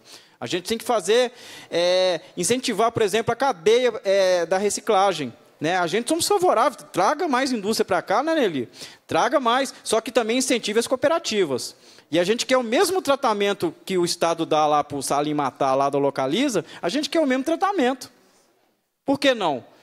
Agora, eu duvido se a Localiza gera mais trabalho e renda do que as associações de cooperativas de catador. Pode fazer essa comparação. Não, não gera mesmo. O negócio deles é só alugar carro, é conseguir comprar veículo lá com isenção fiscal, o carro roda lá, fica uma lata velha, depois eles vendem pelo preço de tabela FIP e os caras ganham dinheiro para caramba, ó, beleza. Né? Enquanto outros setores, agricultura familiar, catadores né, e outros segmentos, não têm esse tipo de apoio. Né? É um governo que fala no, que é novo, que não sei o quê, Estado mínimo, fica pregando essa porcaria de Estado mínimo. O Estado ele tem que ser máximo, ele tem que ser forte. E ele tem que, ele tem que trabalhar para a sociedade. Não tem que ter Estado mínimo, não. O Estado mínimo é o escambau. O Estado tem que ser forte, tem que ter um Estado regulador, tem que ter um Estado justo. Né? Tem que ter um Estado que olhe para é, olhe as pessoas, tem que ter um Estado que seja desenvolvimentista. Né? E, desenvolvimento, e desenvolvimento passa por apoiar as pequenas, as pequenas iniciativas e as grandes iniciativas também, ok. Mas na nossa questão de nós catadores e catadoras de material reciclável, tem que dar fomento sim. O Estado tem que ter orçamento, por exemplo, igual tem o programa Bolsa Reciclagem. Mas não é uma política de governo. Não tem um orçamento próprio. A gente tem que ficar aqui vindo no PPAG. Ah, por favor, tira uma migalha lá para o Bolsa Reciclagem. E não é pago de três em três meses. Isso não é pago né? Está pagando parcela do ano passado ainda, para a gente sempre tem um porém. Ai, vocês e não sei o quê. Quer dizer, se fosse uma coisa paga de três, três meses, fosse uma política de Estado para falar, não, não, vamos remunerar vocês por serviços ambientais prestados, baseado naquilo, na quantidade de toneladas que vocês coletam, na mobilização que vocês fazem. Vamos fazer uma política. Eu proponho isso para os parlamentares, tentar criar é uma votação e, e criar uma política pública para o Bolsa Reciclagem ser um programa, eh, ser um programa de governo. Não é vir de, de emenda parlamentar, de, de ah, não tem que ser um programa de governo, tem que, ter, tem que ser um programa, tem que ser fomento vindo do Estado. Isso é uma coisa é, garantida e uma coisa contínua. Que entra governo e sai governo, mas que essa coisa continue. É isso.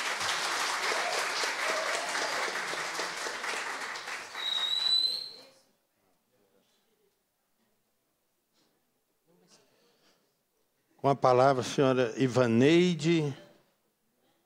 Quem que é esse? De Souza, diretora-presidente da Rede Sol.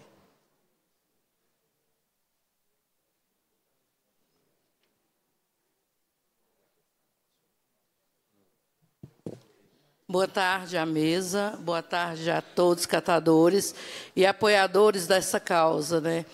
É, tem, é, eu até coloquei que eu gostaria de falar sobre a bitributação, que já foi muito falada, ainda mais nesse microfone aqui. Mas eu, como já foi muito falado, eu vou, eu quero chegar no ponto de que tem catadores aqui que viajaram a noite toda para estar aqui. E por que, que eles vieram aqui? Por um pedido de socorro por um pedido de socorro, porque não é possível pensar um catador que ele tira 400, 500 reais por mês em pagar PIS, COFIS e ICMS. Nos municípios, como foi falado, não, não tem outros compradores, como nós que estamos aqui em Belo Horizonte.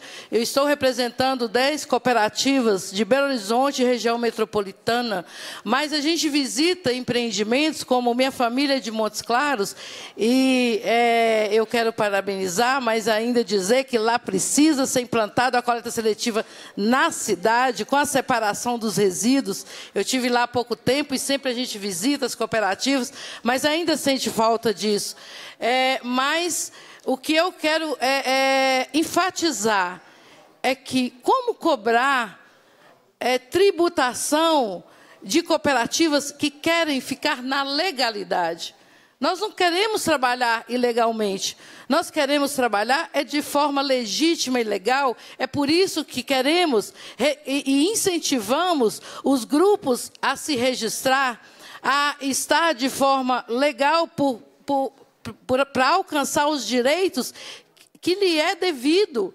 E se a gente estiver na ilegalidade, não faço só da Bolsa Reciclagem, também dos contratos com, as, com os municípios, e não podemos admitir que retrocedemos, que todos esses grupos que a gente tem trabalhado para que se registre, se formalize, eles possam retroceder.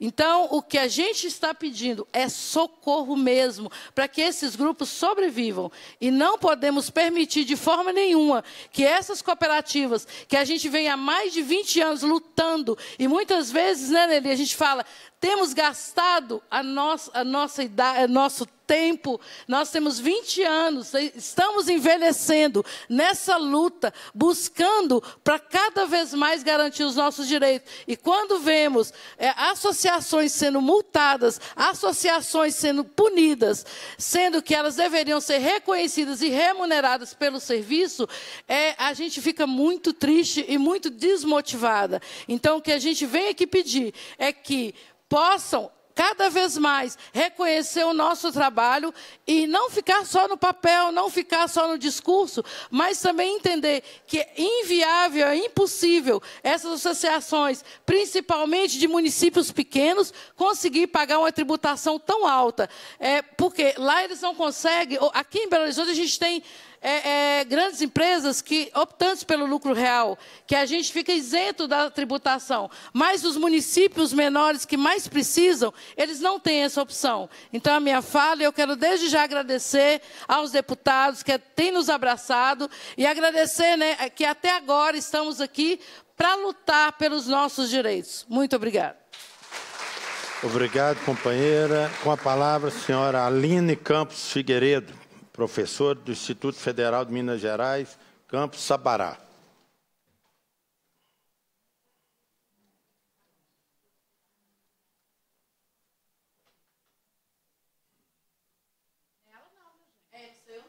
Ah, não? Então a Linda, achei que era você. Então a Linda não está. A Linda foi embora, todo mundo na expectativa. Maria Terezinha Magalhães, presidente da ASCAR. Já.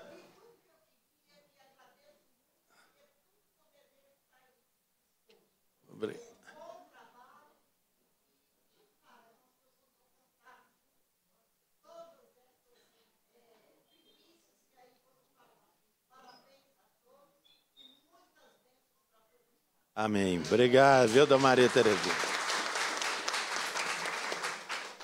Senhor Vinícius Vessiano de Paula, já falou, né? Também de novo. é, Labenerdes Mendes Ribeiro, secretário parlamentar do deputado federal Reginaldo Lopes. Uma boa tarde a todas e todos. É um prazer muito grande estar aqui participando dessa reunião.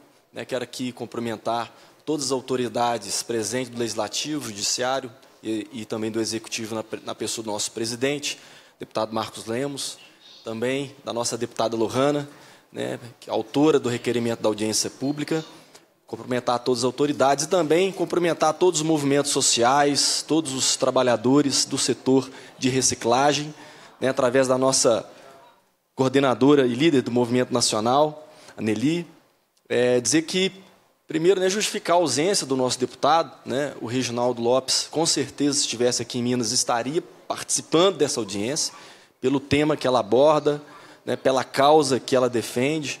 O Reginaldo, hoje, ele está participando de uma missão na França, na OCDE, né, com o objetivo de construir né, uma legislação tributária que faça o que todos vocês hoje pautaram nessa audiência pública, que é uma legislação tributária que faça justiça tributária, que possa reduzir o máximo possível, que foi dito aqui, muito importante por todos os técnicos, inclusive, que é o nosso custo Brasil, né, que leva dinheiro das pessoas que trabalham e que produzem, né, pelo, por toda a burocracia que a nossa legislação antiga, defasada, tributária, ela faz. Né? É, quero dizer que, que a deputada Lohana tem feito tratativas junto ao gabinete do deputado, especificamente pautando a questão da tributação, já fez reuniões, inclusive, com o deputado. O deputado também tem um pedido de audiência na Secretaria de Fazenda, feita pela ACRAP de Além Paraíba, daqui o Danilo, o Fernando, né, o Dário, secretário de Fazenda do Estado, Luiz Cláudio, né, secretário adjunto. É, com o objetivo também de tratar o assunto colocado aqui dos impostos estaduais. Então, nós estamos também atentos, acompanhando toda a pauta e dizer que o momento ele é muito oportuno, né, o momento ele é um momento único que nós estamos vivendo né, que o que vocês falaram é o mesmo desejo da comissão. O Reginaldo hoje é presidente da comissão que está construindo a nossa reforma tributária nacional. Inclusive, até a ida dele na França é para verificar o modelo francês, que é do imposto único, do IVA. Lá tem outro nome, aqui é nomeado como IVA. É, com esse objetivo, com essa finalidade, que é o quê? Que é a justiça tributária. O Brasil é o segundo país com maior concentração de riqueza do mundo. A gente só perde para o Sudão. Ou seja, é o segundo país com maior desigualdade do mundo. E essa desigualdade ela é reforçada por esse sistema tributário que ele privilegia quem arrecada muito, privilegia quem ganha muito e acaba sacrificando as pessoas com renda mais baixas e iniciativas de setores de pessoa jurídica que também que tem uma arrecadação menor, que tem uma produção menor. Então a gente viu aqui muito dizer para poder finalizar em relação aos, aos, aos benefícios para o setor vindo através de isenções fiscais, eu queria fazer uma provocação, que eu acho que a isenção fiscal para o setor deve ser o ponto de partida. A gente tem visto a comissão regional debater muito o cashback voltado para a pessoa física, que é o cidadão de acordo com a sua renda, ele pagar um imposto quando ele vai comprar o produto de acordo com a renda dele. E ele receber como compensação um cashback na hora da compra.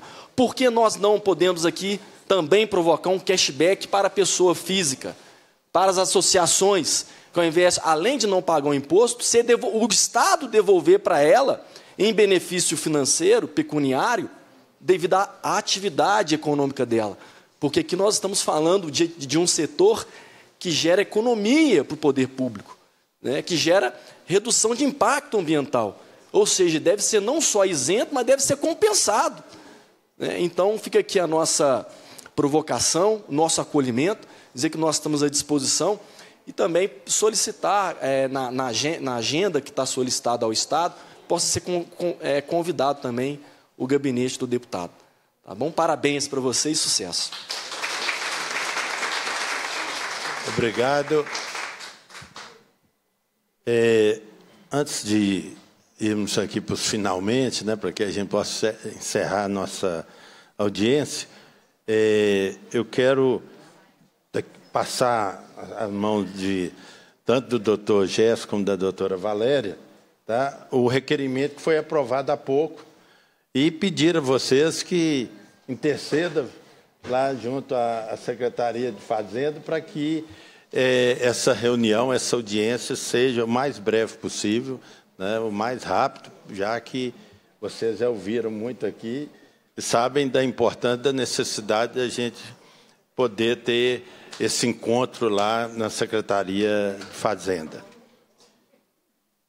Quero agradecer a participação, agradecer a presença e principalmente a paciência né, de ter ficado aqui né, todo esse tempo para que pudéssemos debater, pudéssemos falar mais sobre esse assunto.